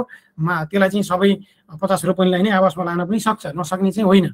तर उहाँहरूलाई त्यो चाहिँ डिस्कस गराउनु पर्यो। के छ मैले सबै भन्न सकेँ कि सकिनँ? सुनिलजी के छ? क्लियर भयो होला है? लगभग लगभग आयो सर। र अब हामीले यो ब्राइट बाटोको मेन चाहिँ अब बस्ती भएको ठाउँलाई त आवास स्वत भइहाल्यो व्यवसाय भएको ठाउँ व्यवसाय स्वत भइहाल्यो सरकारी कार्यालय भएको वरिपरि त्यसलाई मान्ने भन्ने कुरा त्यो कार्यनीतिमा छ त्यो पनि भइहाल्यो। अब बाटोको क्राइटेरियालाई मानेर हामीले वडालाई सिफारिस गरेर चाहिँ किताकाट हुने कि नहुने भन्ने कुराहरू होइन हुन्छ। त्यही त मैले भने नि मान्न स्थानीय तहले अहिले तपाईँको चाहिँ एक सय छिहत्तर सतहत्तर कतिवटा स्थानीय तहले चाहिँ वर्गीकरण गरिसक्नु भएको छ होइन? उहाँहरूले बाटोलाई आधार मानेर गराउन सक्नुहुन्छ। किन भन्दा उहाँको त्यो अधिकारभित्रको कुरा हो त्यो चाहिँ कुनै पनि अरू निकायले त्यसमा हस्तक्षेप गर्ने कुरा भएन। मैले भन्न खोजेको कुरा के भन्दाखेरि तपाईँले बाटोको आधारमा बाटोको दायाँ बायाँ सेट गर्दै गर्दाखेरि त्यसले कति त्यो भूविग नियमावलीले भन्न खोजेको कुरातिर हाम्रो मिट भएन कि? भूविग नियमावलीले चाहिँ के कुरा भनेको भन्दाखेरि सबै कुरालाई चाहिँ लिने हो सबैको सबैलाई क्राइटेरियाको रूपमा लिएर एमसिडिए लगाउने हो भन्छ। हामीले अब हाम्रो सजिलोलाई र छिटोको लागि के गर्यो भने बाटोले नै बाटोको दायाँ बायाँ हालिदिँदाखेरि त तपाईँको अब अर्को एङ्गलले सोच्नु न। त्यही परिवार चाहिँ त्यो बाटोको दायाँमा दायाँ बायाँ चाहिँ खेतीपाती गरिरहेछ। त्यो परिवारको आय आर्जनै खेतीपाती हो भने ऊ त बिचरा आवासको चाहिँ कर तिर्न त बाध्य भयो नि त। होइन म त यो त यो खेतीपाती नै गर्ने यो मेरो चाहिँ बाजेदेखि नै खेतीपाती गरिरहेको भन्ने कुरा तुलसीपुर महानगरपालिकामा चाहिँ यो जुन त्यहाँको आदिवासी चाहिँ थारू समुदाय छ थारू समुदायमा के हुँदो रहेछ भन्दाखेरि बाजेदेखिको जग्गा बेच्दै नबेच्ने उहाँहरूले त्यो बाजेपछि चाहिँ चाहिँ छोरा नाति हुँदै चाहिँ त्यो चाहिँ तल त दैला जाला तर नबेच्ने कि। अनि उहाँहरूले खेतीपाती नै गर्नुभएको छ। बाटोको साइडमा छ। अनि सबै उहाँहरूले चाहिँ त्यो जग्गा कृषिमा युज गर्नुहुन्छ भने हामीले चाहिँ बाटोको मापदण्ड लादेर अनि उहाँहरूलाई चाहिँ आवासको चाहिँ गराउनु त भएन नि त। त्यो कुरा पनि हामीले विचार चाहिँ गरिदिनु पऱ्यो कि। त्यो कुरा भनिदिनु पऱ्यो एटलिस्ट उहाँहरूलाई। उहाँहरूले होइन। अघि प्रदीपजीले पनि सायद त्यो एउटा उसमा इमेजमा चाहिँ दुइटा कम्पेयर गरेरै देखाउनु भयो। हामीलाई चाहिँ बाटोले बाटो राख्दाखेरि कस्तो बनाउने कस्तो देखिने अनि त्यसपछि अरू अरू क्राइटेरियामा चाहिँ कस्तो देखिन्छ भनेर चाहिँ देखिन्छ भन्ने कुराहरू त अघि आयो। अघि आइसक्यो हजुर। त्यसै गरी चाहिँ मैले अमरजीको यहाँ च्याट बक्समा चाहिँ क्वेसन रहेछ है। नेलिसको बारेमा चाहिँ भिडियोहरू उपलब्ध छ कि छैन? र अर्को यही बारेमा चाहिँ अर्को एउटा जानकारी के गराउन चाह्यो भने चाहिँ सकेसम्म चाहिँ हामी जियो सिरिज अब आउने जियो सिरिज चाहिँ नेलिसको बारेमा या त त्यस्तै अरू प्रविधिहरूको बारेमा चाहिँ निहित भएर चाहिँ हामी गर्नेवाला छौँ। सो त्यो पनि जानकारी म गराउन चाहेँ। त्यस्तै गरी प्रदीपजीलाई चाहिँ के थाहा छ? नेलिसको बारेमा केही उपलब्ध भिडियोहरू त्यस्तो केही सजेसनहरू छ? हजुर नेलिसको बारेमा चाहिँ भिडियो चाहिँ युट्युबमा खासै त्यति धेरै त भेटिँदो रहेछ। तपाईँको काम भयो फेरि अब मेरो मेरो काम चाहिँ आउँदैछ हो तर कार्यालयमा लागु नभएको हुनाले मैले चाहिँ त्यसरी चाहिँ अब त्यो गराउन पनि सकिरहेको छैन कि अब त्यो नेटवर्किङमा जोडिनु जोडिनु पर्ने हुन्छ अब मैले यहाँबाट देखाउँछु भने त्यो चाहिँ स्याम्पल डाटा पनि देखाउन नसक्ने भएको हुनाले त्यो त्यति धेरै चाहिँ छैन मलाई पनि त्यसको बारेमा जानकारी होइन हुन्छ हुन्छ केही छैन त्यसको बारेमा चाहिँ हामी छुट्टै जियो सिरिज पनि राख्छौँ सो धन्यवाद प्रदीपजी। त्यस्तै गरेर मिनाज्यूले पनि क्वेसन गर्नुभएको थियो। सायद यो क्वेसन चाहिँ अरू अर्को साथीले हृदयले चाहिँ आन्सर गरिसक्यो जस्तो छ। सो त्यसका लागि धन्यवाद। तपाईँहरू च्याट बक्समा पनि मजाले प्रश्नहरू यताउता गर्न सक्नुहुन्छ है। जानेको कुराहरू एकअर्का साथीलाई चाहिँ सिकाउन सक्नुहुन्छ। जस्तै मिनाजीले भन्नुभएको थियो तुरुन्तै परिवर्तन गर्न सकिन्छ कि सकिँदैन? भूविवेक परिवर्तनका लागि निवेदन आएको कति समयमा उक्त क्षेत्र परिवर्तन गर्न सकिन्छ? के छ प्रदीपजी यसमा? अब यसमा चाहिँ यस्तो छ सर यसमा के छ भन्दाखेरि अब अहिले स्थानीय तहहरूले नक्सा बनाउ बनाउने चरणमै भएको हुनाले चाहिँ अहिले उहाँहरूले चाहिँ जस्तो अहिले त सङ्घीय भूपेक परिषदमा र प्रदेश भूपेक परिषदमा त्यसरी चाहिँ एक्टिभली चाहिँ ऊ भयो इस्टाब्लिस भएको अवस्था पनि छैन। अहिले मजाले परिवर्तन गर्न सकिन्छ। तर प्रदेश भूपेक परिषद र सङ्घीय भूपेक परिषदमा चाहिँ एक्टिभली लगाइसकेपछि चाहिँ त्यति बेला चाहिँ जुन हाम्रो स्थानीय तहको रेकर्ड जब चाहिँ प्रदेशमा गएर बस्छ भने त्यति बेला चाहिँ हामीले सिफारिस गरेर पठाउने हो। अहिले चाहिँ तपाईँको त्यति यति टाइम इन्टरभलभित्र भन्ने केही पनि छैन। अहिले नक्सा बनाउँदाखेरि तपाईँहरूले चेन्ज गरेर चाहिँ जस्तो एउटा भीमदत्त नगरपालिकाको कुरा भन्छु मैले। भीमदत्त नगरपालिकाले पहिले नक्सा बनायो त्यसपछि चाहिँ फेरि सूचना निकाल्यो र तपाईँहरूको यो नक्सामा चाहिँ तपाईँलाई चित्त बुझेको छैन भने ल यति दिनभित्र तपाईँहरूले चाहिँ निवेदन दिनुहोस् भनेर सूचना माग्यो। अनि त्यो त्यति दिनभित्र चाहिँ निवेदन पर्यो फेरि त्यसको चाहिँ भूपयोग परिवर्तन गरेर कितागत विवरण तयार गर्यो। त्यो गर्ने स्थानीय तहलाई अहिले चाहिँ अधिकार छ तर अलि पछि चाहिँ यो नहुन सक्छ। त्यो भएको हुनाले त्यो कुरा चाहिँ पछि चाहिँ सिफारिस नै गर्ने हो। ल धन्यवाद। त्यस्तै गरेर चाहिँ हामीसँग भूमि वनगङ्गा सायद उहाँले त्यसरी नै चिनाउन खोज्नु भएको छ आफूलाई। उहाँले चाहिँ हात चाहिँ रेज गर्नु भएको छ ह्यान्ड रेज गर्नु भएको छ। कृपया तपाईँ जोडिन सक्नुहुन्छ। सर्वप्रथम त यो हाम्रो नेपाल इन्जिनियरिङ सोसाइटीलाई एकदम धन्यवाद। अनि हाम्रो प्रदीप ज्ञानी सरलाई पनि एकदम धन्यवाद। अझै हाम्रो कपिलवस्तु जिल्लाको बाडङ्गा नगरपालिकादेखि हो सर्वेक्षकारी खनाल ए हजुर हजुर चिने मैले। अनि हाम्रो चाहिँ प्रदीप सरसँग चाहिँ धेरैचोटि भेटघाट पनि भएको छ। हामी बुटो तालिममा पनि सँगै थियो भेटघाट भयो। अनि सोही अनुसार हामीले चाहिँ यो वर्गीकरण गरेर मापदण्डको आधारमा हामीले वर्गीकरण गऱ्यौँ। र हामीले चाहिँ वर्गीकरण गर्दाखेरि कसरी राख्यो भने यो अहिले जुन हाल आवासमा प्रयोग भइरहेको क्षेत्र छ त्यो क्षेत्रलाई सय मिटरको रेडियस मानेर त्यसरी हामीले नयाँ आवास क्षेत्रहरू पनि तोक्यौँ। तर यो गर्दाखेरि हामीलाई अहिले चाहिँ एउटा अप्ठ्यारो किता काठमा चाहिँ कसरी समस्या भइदियो भने कुनै पनि जग्गा जस्तो केन्द्रले त के भनेको छ नि पाँच हजार वर्ग मिटरभन्दा माथि क्षेत्रफल भएकोलाई चाहिँ कृषि क्षेत्रमा उपयोग भनेको छ उसले। तर यो चाहिँ हाम्रो कस्तो भने अंशबन्ड गर्नको लागि पनि अब पाँच हजार वर्ग मिटरभन्दा माथिको क्षेत्रफल भएको किता छ त्यो चाहिँ अंशबन्ड गर्नु पर्यो। तर यो किताबमा के छ नगरपालिकाले लगानी गरेर बाटो पनि पिच भइसकेको छ चापाचोट पक्की घर पनि बनिसकेका छन्। यस्तो खालको कितालाई चाहिँ हामीले आवास क्षेत्रमा सिफारिस गर्दाखेरि नापी कार्यालयले मिल्दैन मलाई किताकाट गर्न पनि दिएन गरेन। र यसको लागि चाहिँ कसरी हामीले काम गर्न सकिन्छ? अनि अर्को कुरा फेरि हाम्रो यो पालिका स्तरको भित्रै भयो भने ओडाको बााउन्ड्री चाहिँ एकदम मिलेकै छैन। टोटल्ली डिफ्रेन्ट छ। हामीले मैले यसो हेर्दा गर्दाखेरि पनि हाम्रो दुईवटा वडाको चाहिँ के भएको छ भने कितनापीको नक्सामा दुईवटा सिटै अर्को वडा गाविसमा गएर गाप दिएको छ। त्यो नहुन पर्ने। अनि अर्को पालिकाको बााउन्ड्रीमा गाविसको एउटा सिट पनि काटिएर दुईवटा पालिका बिच पनि त्यसरी हाम्रो विवाद आएको छ। जबकि ओडाको सिमाना त नकाटिन पर्ने ओडाको सिमाना काटिए पनि हाम्रो सिटको सिमाना नकाटिनु भने सिटै पनि काटिएको छ सिटसम्म पनि यो चाहिँ कसरी समाधान गर्न सके होला? ए ल। ल धन्यवाद। क्वेसनको लागि। यो नक्साको वि नक्सा सम्बन्धी सिटको विवादहरू चाहिँ नापी विभागसँगै फेरि समन्वय गर्न पऱ्यो होइन। नापी विभाग त्यति बेला के भन्दाखेरि हतार हतारमा कन्सल्टेन्सीले गर्दाखेरि धेरै ठाउँमा मिस्टेक रहेछ कि। त्यो चाहिँ पछि अब अहिले नापी विभागबाट त्यो सचिएर आउँछ सायद होइन? अब अर्को जुन नापी कार्यालयले चाहिँ मानेन भन्नुभयो नि त्यो सन्दर्भमा म दुईवटा दुई चारवटा कुरा गर्छु के भन्दाखेरि स्थानीय तहले मापदण्ड सेट गरेर स्थानीय तहको भूपयोग परिषदबाट चाहिँ पास भएर गइसकेको कुरा नापी कार्यालयले मान्दिन भन्न चाहिँ मिल्दैन फेरि। त्यो चाहिँ कुनै पनि चाहिँ ऐन कानुनमा त्यसरी चाहिँ नापी कार्यालयलाई चाहिँ त्यो चाहिँ चेक गर्ने भन्ने अधिकार पनि छैन त्यो दिएको छैन कि? के चाहिँ के चाहिँ गर्न सक्छ भन्दाखेरि नापी कार्यालयले एज अ विज्ञको रूपमा चाहिँ सल्लाह दिने अनि यसरी चाहिँ लैजान सक्नुहुन्छ तपाईँहरूले भन्न चाहिँ सक्छ। तर स्थानीय तहबाट सिफारिस भएर आएको कुरालाई म मान्दिनँ भन्न चाहिँ सक्दैन एउटा कुरा।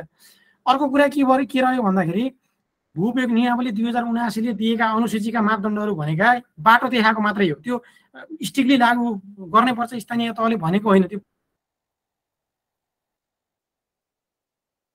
ओके प्रदीपजी प्रदीपजीको सायद नेट चाहिँ गयो जस्तो छ। सो प्रदीपजी सायद उहाँ चाहिँ जोडिन खोज्नुहुन्छ होला। सो त्यति बेलासम्म चाहिँ एउटा एलएमटिसीको उमेर हदको बारेमा प्रश्न आएको रहेछ। सो उमेर हदको बारेमा चाहिँ एलएमटिसीको कोही जुनियर नापी ओके प्रदीपजी जोडिसकिनु सक्नु भएको छ। सो ओके प्रदीपजी तपाईँको म्युट छ है। म त्यो त्यसलाई कन्टिन्यू गरिहालेँ है मेरो यहाँ हुन्छ हुन्छ। आयो। त्यसको लागि चाहिँ सरी है सबैलाई। के भयो भन्दाखेरि भूपयोग नियमावलीको चाहिँ मापदण्डहरूलाई चाहिँ फलो गरेर जाने हो। त्यो सबै चाहिँ त्यही नै फलो गर्नुपर्छ भन्ने पनि छैन। स्थानीय तहले छुट्टै आफ्नो ऐन नियम कार्यविधि बनाएर लैजान सक्छ। र तपाईँले भने जस्तो त्यो जुन पाँच के अरे पचास मिटरको चाहिँ अथवा चाहिँ सय मिटरको रेडियसको कुरा गर्नुभएको छ नि त्यो गराउन मिल्छ। बरु त्यसको चाहिँ प्रति कितामा चाहिँ एउटै कितामा धेरै उपयोगको क्षेत्र आयो भने त्यसलाई चाहिँ तपाईँले चालिस साठी अथवा चाहिँ अन्य चाहिँ मापदण्ड सेट गर्न पर्यो त्यसको लागि चाहिँ। तर तपाईँले होइन हाम्रो चाहिँ अहिले चाहिँ रहेको आवासीय क्षेत्रबाट सय मिटरको चाहिँ रेडियसमा मैले आवासीय क्षेत्र राख्छु भन्यो भने त्यो राख्न पाउनुहुन्छ। र त्यसमा चाहिँ पाँच हजार वर्ग मिटरभन्दा चाहिँ बढीको चाहिँ स्वत कृषिमा हुने भनेको राख्न मिल्ने भन्न खोजेको त्यो। राख्नै पर्छ भन्ने पनि त्यो चाहिँ लागु गर्ने भन्ने भन्न खोजेको होइन। स्थानीय तहले आफ्नो नीति नियम सेट गरेर गर्न सक्छ। तर त्यसलाई चाहिँ अहिले चाहिँ कता राख्दाखेरि चाहिँ त्यसको समुचित प्रयोग हुन्छ भन्ने कुरा चाहिँ स्थानीयले ख्याल गर्नु पर्यो। त्यति मात्रै हो। ल हुन्छ प्रदीपजी। सो म चाहिँ च्याट बक्सको एउटा क्वेसन लिइरहेको थिएँ। त्यसमा चाहिँ यो जुनियर नापीको बारेमा रहेछ। चौबिस वर्ष चाहिँ हदबन्दी रहेछ है। सो त्यसको लागि चाहिँ आन्तरिक तालिममा चाहिँ कसरी समावेश हुन सकिन्छ भन्ने टाइपको प्रश्न रहेछ। त्यसको लागि चाहिँ हामी त्यस्तो हामीलाई ठ्याक्कै त्यस्तो त थाहा हुँदैन। कोही साथीहरू भोलिन्टियरिङ गर्न कोही हुनुहुन्छ सो सञ्जीवजीको यो प्रश्न चाहिँ हामीले अहिले चाहिँ सम्बोधन गर्न सकेनौँ। यहाँ च्याट बक्समा आइसकेको छ सर। यो आइसकेको छ? हजुर ए हजुर हजुर। त्यसो भए सायद यो सम्बोधन भइसक्यो। त्यसै गरी अरू प्रश्नहरू पनि राख्नु भएको छ। सायद धेरै कुराहरू चाहिँ सम्बोधन भइसकेको कुरा हो। त्यो सर र म पढेर सुनाउँछु है त। उहाँले के भन्नु लेखेको के छ भन्दाखेरि चौबिस वर्ष नआएको व्यक्तिले फारम भर्नुभएको छ दस्तुर बुझाएर भने उहाँको फारम चाहिँ अस्वीकृत हुनेछ। फारम भर्नेले चौबिस वर्ष नआएको हुनु हुँदैन अर्थात् दुई हजार छेपन्न भाद्र उन्तिस वा सो पछि जन्ममिति भएका उम्मेदवारहरूले मात्र मात्र चाहिँ योग्य हुनुहुन्छ। र गणित फिजिक्स दुवैमा सी प्लस वा पचास प्रतिशत र समग्रमा सी प्लस वा पचास प्रतिशत वा सोभन्दा माथि ल्याएको उम्मेदवारको फारम मात्रै स्वीकृत हुनेछ भनेर उहाँले राख्नु भएको छ अथवा यसलाई एलएमटिसीको चाहिँ फेसबुक पेजबाट तपाईँहरूले हेर्न सक्नुहुन्छ। यो बाहेक पनि तपाईँहरूलाई चाहिँ आन्तरिक उसमा चाहिँ ट्रेनिङमा कसरी समावेश हुने यताउता भन्ने छ भने चाहिँ कृपया आधिकारिक हिसाबले चाहिँ एलएमटिसीकै पेजमा चाहिँ तपाईँहरूले आफ्नो प्रश्नहरू चाहिँ राख्नु होला है त? सो यो बाहेक चाहिँ अब हामीसँग चाहिँ कोसिस पोखरेलजीले ह्यान्ड रेज गर्नुभएको छ। कोसिसजी कृपया तपाईँ जोडिन सक्नुहुन्छ। सुनिल सरलाई धेरै धेरै धन्यवाद अनि प्रदीप सरलाई पनि धेरै धेरै धन्यवाद। यो धेरै हेल्पफुल भयो यो प्रोग्रामले चाहिँ। अनि मसँग केही प्रश्नहरू छन् म शुक्लाण्डेक नगरपालिकाबाट कता- कुन ठाउँ भन्नुभयो अरे? शुक्ला नगरपालिका तनहुँ। ए शुक्ला गण्डकी हजुर। हजुर। यस्तो अब हामीले चाहिँ यहाँबाट वर्गीकरणको काम सम्पन्न लगभग सम्पन्न भनेर पठाएका छौँ मालपोत मापीलाई होइन? र यसै बिच के विवाद भयो के कुराहरू आइरह्यो भन्दाखेरि चाहिँ बाटोको लगत कट्टा भएको छैन हाम्रो नक्सामा। र त्यो किताहरू चाहिँ एउटा किता मानौँ तेह्र रोपनी जतिको किताबको बिचबाट बाटो गएको छ। उनीहरूको बाटो बाटो किता काटो हुने हो भने चाहिँ दुईतिर किता किता फोडिँदाखेरि त उनीहरू त आवास क्षेत्रलाई योग्य भए तर अहिलेको हाम्रो जुन नियम छ नि त्यो अनुसारले हेर्दाखेरि चाहिँ त्यसलाई कृषि कायम गर्नुपर्ने अवस्थामा त्यस्तोमा चाहिँ अलिकति विवाद सिर्जना भइरहेको छ यहाँ। मान्छेहरू आउने कराउने भइरहेको छ। त्यसले गर्दाखेरि चाहिँ अलिक गाह्रो भएको छ। अनि हामीले चाहिँ यो फाइल नक्सा चाहिँ समावेश गर्न सकिएन भनौँ सर। अब माथिबाट विभागबाट हामीलाई समन्वयको लागि नगरपालिकामा आउनुभएको थियो। उहाँले पनि मूल नक्साको डाटा अनुसारले दिनुभयो। र अहिले अनि मालपोत गयो मान्छेहरूलाई सिफारिस दिएर पठायो। मालपोत गइसकेपछि चाहिँ यो किता चाहिँ यहाँ छैन भनेर फिर्ता गरिदिइराख्ने बारम्बार।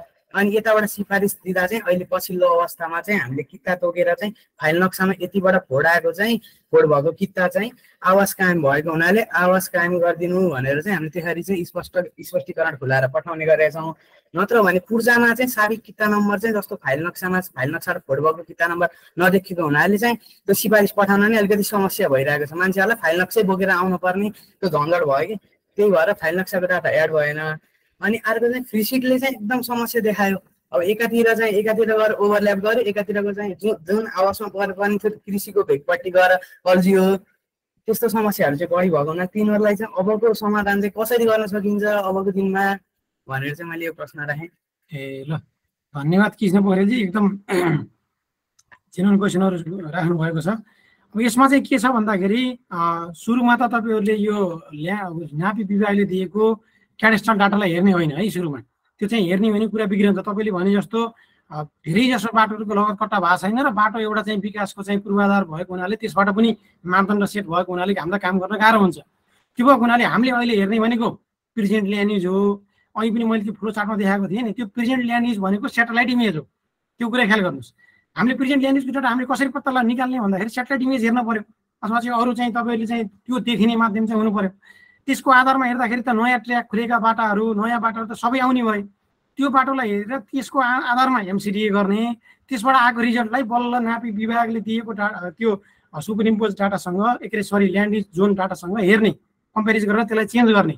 यतातिर चाहिँ कृषि छ भने अब हामीले निकालेको चाहिँ आवासीय आयो भने त्यसलाई आवासीय बनाइदिने। त्यसरी चेन्ज गर्ने हो पुरानो डाटा अनुसार हेर्ने होइन एउटा कुरा। अनि अर्को कुरा भनेको मैले गर्दाखेरि पनि फ्री सिटमा धेरै समस्या आएको थियो। मैले चाहिँ के गरेँ भन्दाखेरि सेटेलाइट इमेजलाई चाहिँ बेसमा हालेँ। अहिले त अहिले त तपाईँहरूले अझै के गर्न सक्नुहुन्छ भने पोर्टेबल बेस म्याप सर्भर भन्ने छ हेर्नु। पोर्टेबल बेस म्याप सर्भर तपाईँले ट्याक्क चाहिँ त्यो जिएसमा एउटा एक्सटेन्सनको रूपमा राखिदिनु भयो भने अर्को त्यो हामीले चाहिँ त्यो त्यहाँको बिङ इमेज भन्दा त्यो धेरै फास्ट लोड हुन्छ कि। त्यसले गर्दाखेरि पनि देखिन्छ। त्यो चाहिँ के गरिदिने भन्दा त्यसले हाम्रो त्यो पहिलाको त्यो नक्सालाई ड्र्याग गरेर हेर्ने क्या त्यहाँ। जस्तो हाम्रो त्यो नदीसँग त पहिला त त्यो मिल्छ नि। नदीहरूलाई हामीले चाहिँ लिन सकिन्छ। त्यस्तो मेन मेन ठाउँहरूलाई लिएर ड्र्याग गरेर टेन्टेटिभ मिलाउने। टेन्टेटिभ मिलाइसकेपछि त्यो नक्सामा हामीले चेन्जेस ल्याउने। दुईवटा कुरा भयो। अनि अर्को फाइल नक्साको कुरा गर्नुभएको छ। फाइल नक्सा भनेको हाम्रो बन्ने भनेकै फाइल नक्सा बन्ने भने भनेकै हाम्रो मेन डेन्स एरियामा हो। डेन्स एरिया अब हाम्रो चाहिँ धेरै उसको खाली एरियामा त प्रायः बन्दैन। त्यो डेन्स एरिया भनेको स्वत आवासमा जान्छ कि? तपाईँको चाहिँ मेन डेन्स एरियालाई तपाईँले आवासमा राख्ने अथवा चाहिँ व्यवसायिकमा राख्ने गर्नुहुन्छ। त्यो भएको हुनाले अ, यो फाइल नक्साले चाहिँ खासै धेरै त्यति धेरै ठुलो समस्या चाहिँ ल्याउँदो रहेछ। मैले गर्दा मेरो अनुभव चाहिँ तपाईँले चाहिँ कस्तो मान्नुभयो होइन? त्यसरी चाहिँ लान सक्नुहुन्छ है। सो यही प्रश्नमा चाहिँ जोडेर आकाश सुनवारको पनि उत्तर आउँछ है। सो आकाशजीले चाहिँ सोध्नु भएको छ स्थलगत सर्वेक्षण नभई रिमोट सेन्सिङबाट मात्र वर्गीकरण सम्भव छ र? भनेर प्रश्न गर्नुभएको छ प्रदीपजी। अब अब यसमा चाहिँ के छ भन्दाखेरि जहिले चाहिँ हामीले सेटेलाइट इमेज लिँदाखेरि कुनै कुनै नयाँ ट्र्याकहरू अब यो स्थानीय तहहरूले चाहिँ अब यो विकासे बजेट हुन्छ होइन असारमा चाहिँ अझै बढी तातिने चलन छ हाम्रो। त्यति बेला ट्र्याक खोलिहाल्ने त्यस्तो भयो भने त्यो रेकर्ड चाहिँ क्याप्चर नहुन सक्छ हामीले बाटोको मात्रै डिटेल्स छोड्यौँ भने पनि त्यसले गर्दाखेरि हाम्रो जोनै परिवर्तन हुन सक्ने भएकोले त्यसलाई हामीले आधार लिनको लागि नयाँ बाटोको ट्र्याकहरू लिनको लागि हामीले स्थलगत निरीक्षण गर्न सकिन्छ। र पुरानो डाटालाई हेर्ने भने मेन हाइवेहरू छ भने त्यसको लागि चाहिँ यो नयाँ के अरे स्थलगत निरीक्षण चाहिँ आवश्यक पर्दैन। ओके। सो अरू पनि केही प्रश्नहरू छ भने चाहिँ साथीहरूले सोध्न सक्नुहुन्छ है? अब चाहिँ हामी कविरामजीको प्रश्न चाहिँ जोड्न चाहन्छौँ। सो कविरामजीले चाहिँ ह्यान्ड रेज गर्नुभएको छ। सो प्लिज कविरामजी। तपाईँको चाहिँ म्युट छ कविरामजी। म्युट छ। अनम्युट गर्नुहोस् आफूलाई। सबैजना सरलाई नमस्कार। नमस्कार। अघि मैले क्वेसनै भन्दा पनि म त यसो बुझ्न खोजिरहेको छु। म एलएमटिसीमा यता इन सर्भिसबाट ट्रेनिङ गरिरहेको छु। त्यही भएर चाहिँ अघि एउटा कसले क्वेसन सोध्नुभयो एलएमटिसी कोही हुनुहुन्छ कि भन्नुभएको थियो हजुरले? त्यही भएर यसो ह्यान्ड ह्यान्ड गरे त्यही भएर। ए thank you thank you कविरामजी। So साथीले सोध्नु भएको थियो चौबिस वर्षको हदबन्दी सोध्नु भएको थियो होइन? अनि आन्तरिक तालिमको लागि इन सर्भिसबाट सर त्यही भएर मैले फेरि यता ट्रेनिङको लागि हो कि भन्ने सोचेर फेरि त्यही भएर बोलिरहेको। ठिकै छ सर. हजुरले भनिदिइहाल्नु हुन्छ सो ठिकै छ धन्यवाद धन्यवाद. सो तपाईँहरूसँग अरू पनि धेरै प्रश्नहरू छ भने चाहिँ प्रदीपजीसँग चाहिँ तपाईँहरू जोडिन सक्नुहुन्छ है? सो प्रदीपजीको अघि लिङ्कडिनको ह्यान्डल पनि मैले राखिदिएको थिएँ। त्यस्तै गरेर चाहिँ प्रदीपजीले आफै पनि आफ्नो युट्युबको च्यानल पनि राख्नु दिनुभएको थियो। फेरि पनि कृपया राखिदिनु होला प्रदीपजी। सो त्यति बेलासम्म चाहिँ म अरू प्रश्नहरू केही छन् कि म हेर्न चाहन्छु? यो च्याट बक्समा चाहिँ एउटा क्वेसन चाहिँ हाल्नुभएको रहेछ। यसमा चाहिँ के भन्नुभएको छ भन्दाखेरि व्यवसायिक र औद्योगिकको हकमा चाहिँ मापदण्ड भन्नुभएको छ। अहिलेलाई चाहिँ व्यवसायिक र किता औद्योगिक क्षेत्रको किताकातको मापदण्ड भनेको हामीले एक सय तिस वर्ग मिटरलाई लिएर गर्न सक्छौँ। ए ओके। सो अरू पनि केही साथीहरूलाई केही प्रश्न छ भने चाहिँ कृपया ह्यान्ड रेज गर्न सक्नुहुन्छ है। अब हामी पाँच मिनटसम्म चाहिँ बस्छौँ होला त्यसपछि चाहिँ हामी छुट्टिन्छौँ है त। त्यस्तै केही प्रश्नहरू छ भने चाहिँ तपाईँहरू सोध्न सक्नुहुन्छ। सो आजको यो सेसनमा चाहिँ हामीले ल्यान्ड जोनिङको बारेमा चाहिँ प्रदीपजीको आफ्नो एक्सपिरियन्स पनि सुन्यौँ। त्यसै गरेर उहाँले अहिलेसम्म गरिरहेको र आफ्नो अनुभव सँगसँगै च्यालेन्जेसहरू के के थियो र डिफ्रेन्ट मेथड्सहरू जस्तै एमसिडिए भन्दै हुनुहुन्थ्यो। मेबी एमसिडिएको बारेमा थोरै केही भनिदिनुहुन्छ कि? किनभने चाहिँ यो अलिकति टेक्निकल टर्म हो है। सो फ्लोचार त तपाईँले भन्नु नै भयो। सो अलिकति जोडिदिनु न। हुन्छ हुन्छ सर हस्। यसमा एमसिटिएमा चाहिँ के छ भन्दाखेरि यो चाहिँ मल्टी क्राइटेरिया डिसिजन एनालाइसिस हो होइन? यो भनेको चाहिँ हामीले धेरै क्राइटेरिया लिएर त्यसलाई कन्सिडर गरेर नक्सा निकाल्ने हो विशेष गरी। अब यसमा के छ भन्दा हामीसँग अहिले मैले चाहिँ जुन अनुसूची एकका चाहिँ मापदण्डको कुराहरू गरेँ त्यसमा चाहिँ एरियाको मापदण्ड थियो रेडियसका मापदण्डहरूको कुरा थियो। त्यस्तै गरी हामीले चाहिँ कृषियोग्य जग्गाको चाहिँ कतिभन्दा कम चाहिँ खण्डीकरण नगर्ने भन्ने कुराको मापदण्ड थियो।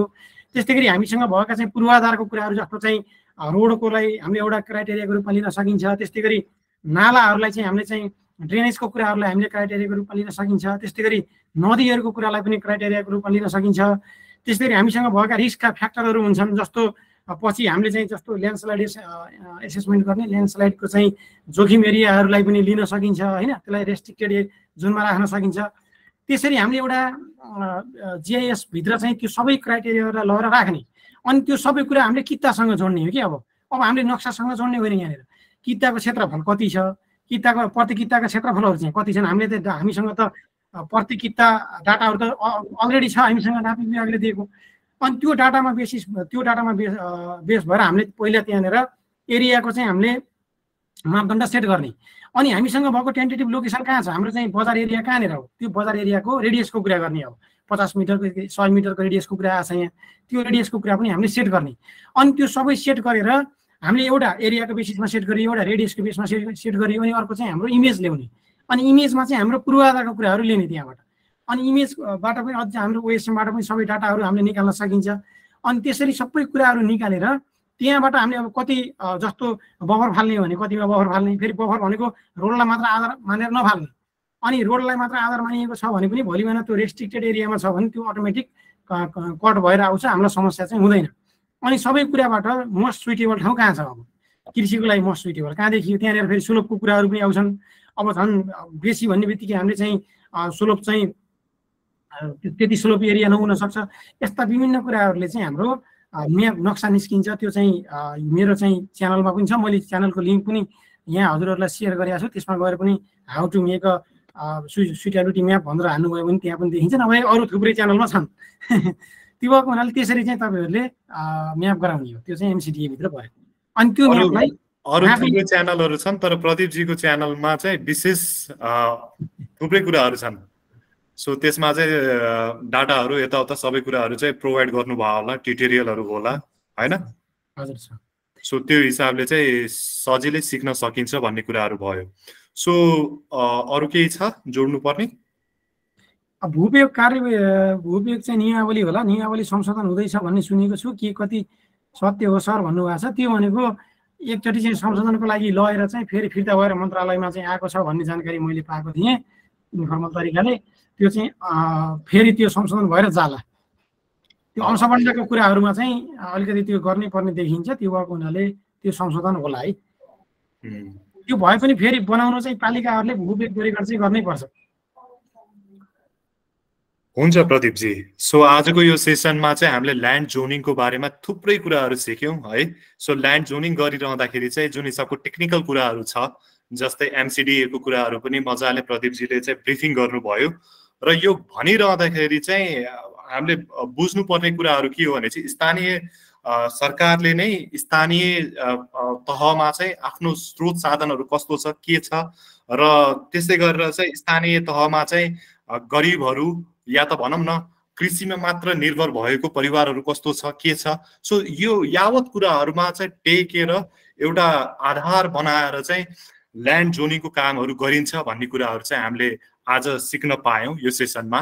र आजको यो सेसनका लागि चाहिँ प्रदीपजीलाई हामी विशेष धन्यवाद दिन चाहन्छौँ। किनभने चाहिँ आज हाम्रो रेकर्ड पनि ब्रेक भयो र यो रेकर्डेड भर्जन हामी आफ्नो YouTube channel Nepal geomatics engineering सोसाइटीमा चाहिँ राख्नेछौँ र प्रदीप प्रदीपजीले बनाउनु भएको यो स्लाइडहरू पनि त्यसमा चाहिँ डिस्क्रिप्सन बक्समा चाहिँ हामीले राख्ने नै छौँ।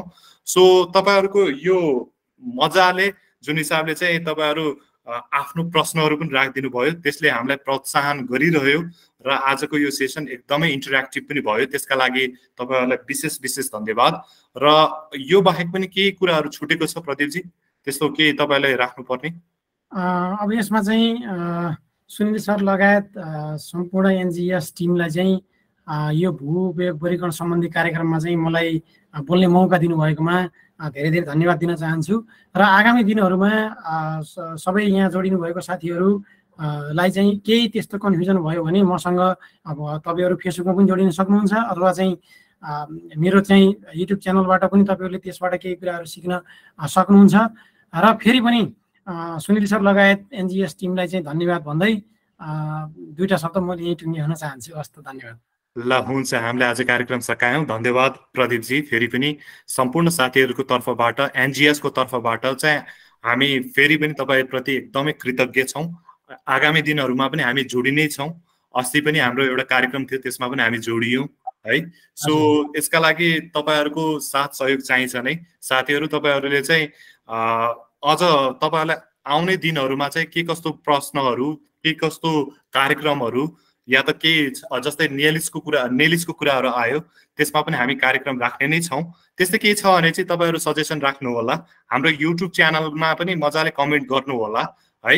सो अहिले पनि तपाईँहरूले केही प्रश्नहरू छुटाएको छ भनेपछि तपाईँहरू आत्तिनु पर्दैन। प्रदीपजी नेपालमै हुनुहुन्छ दार्चुलामा सर गर्दै हुनुहुन्छ।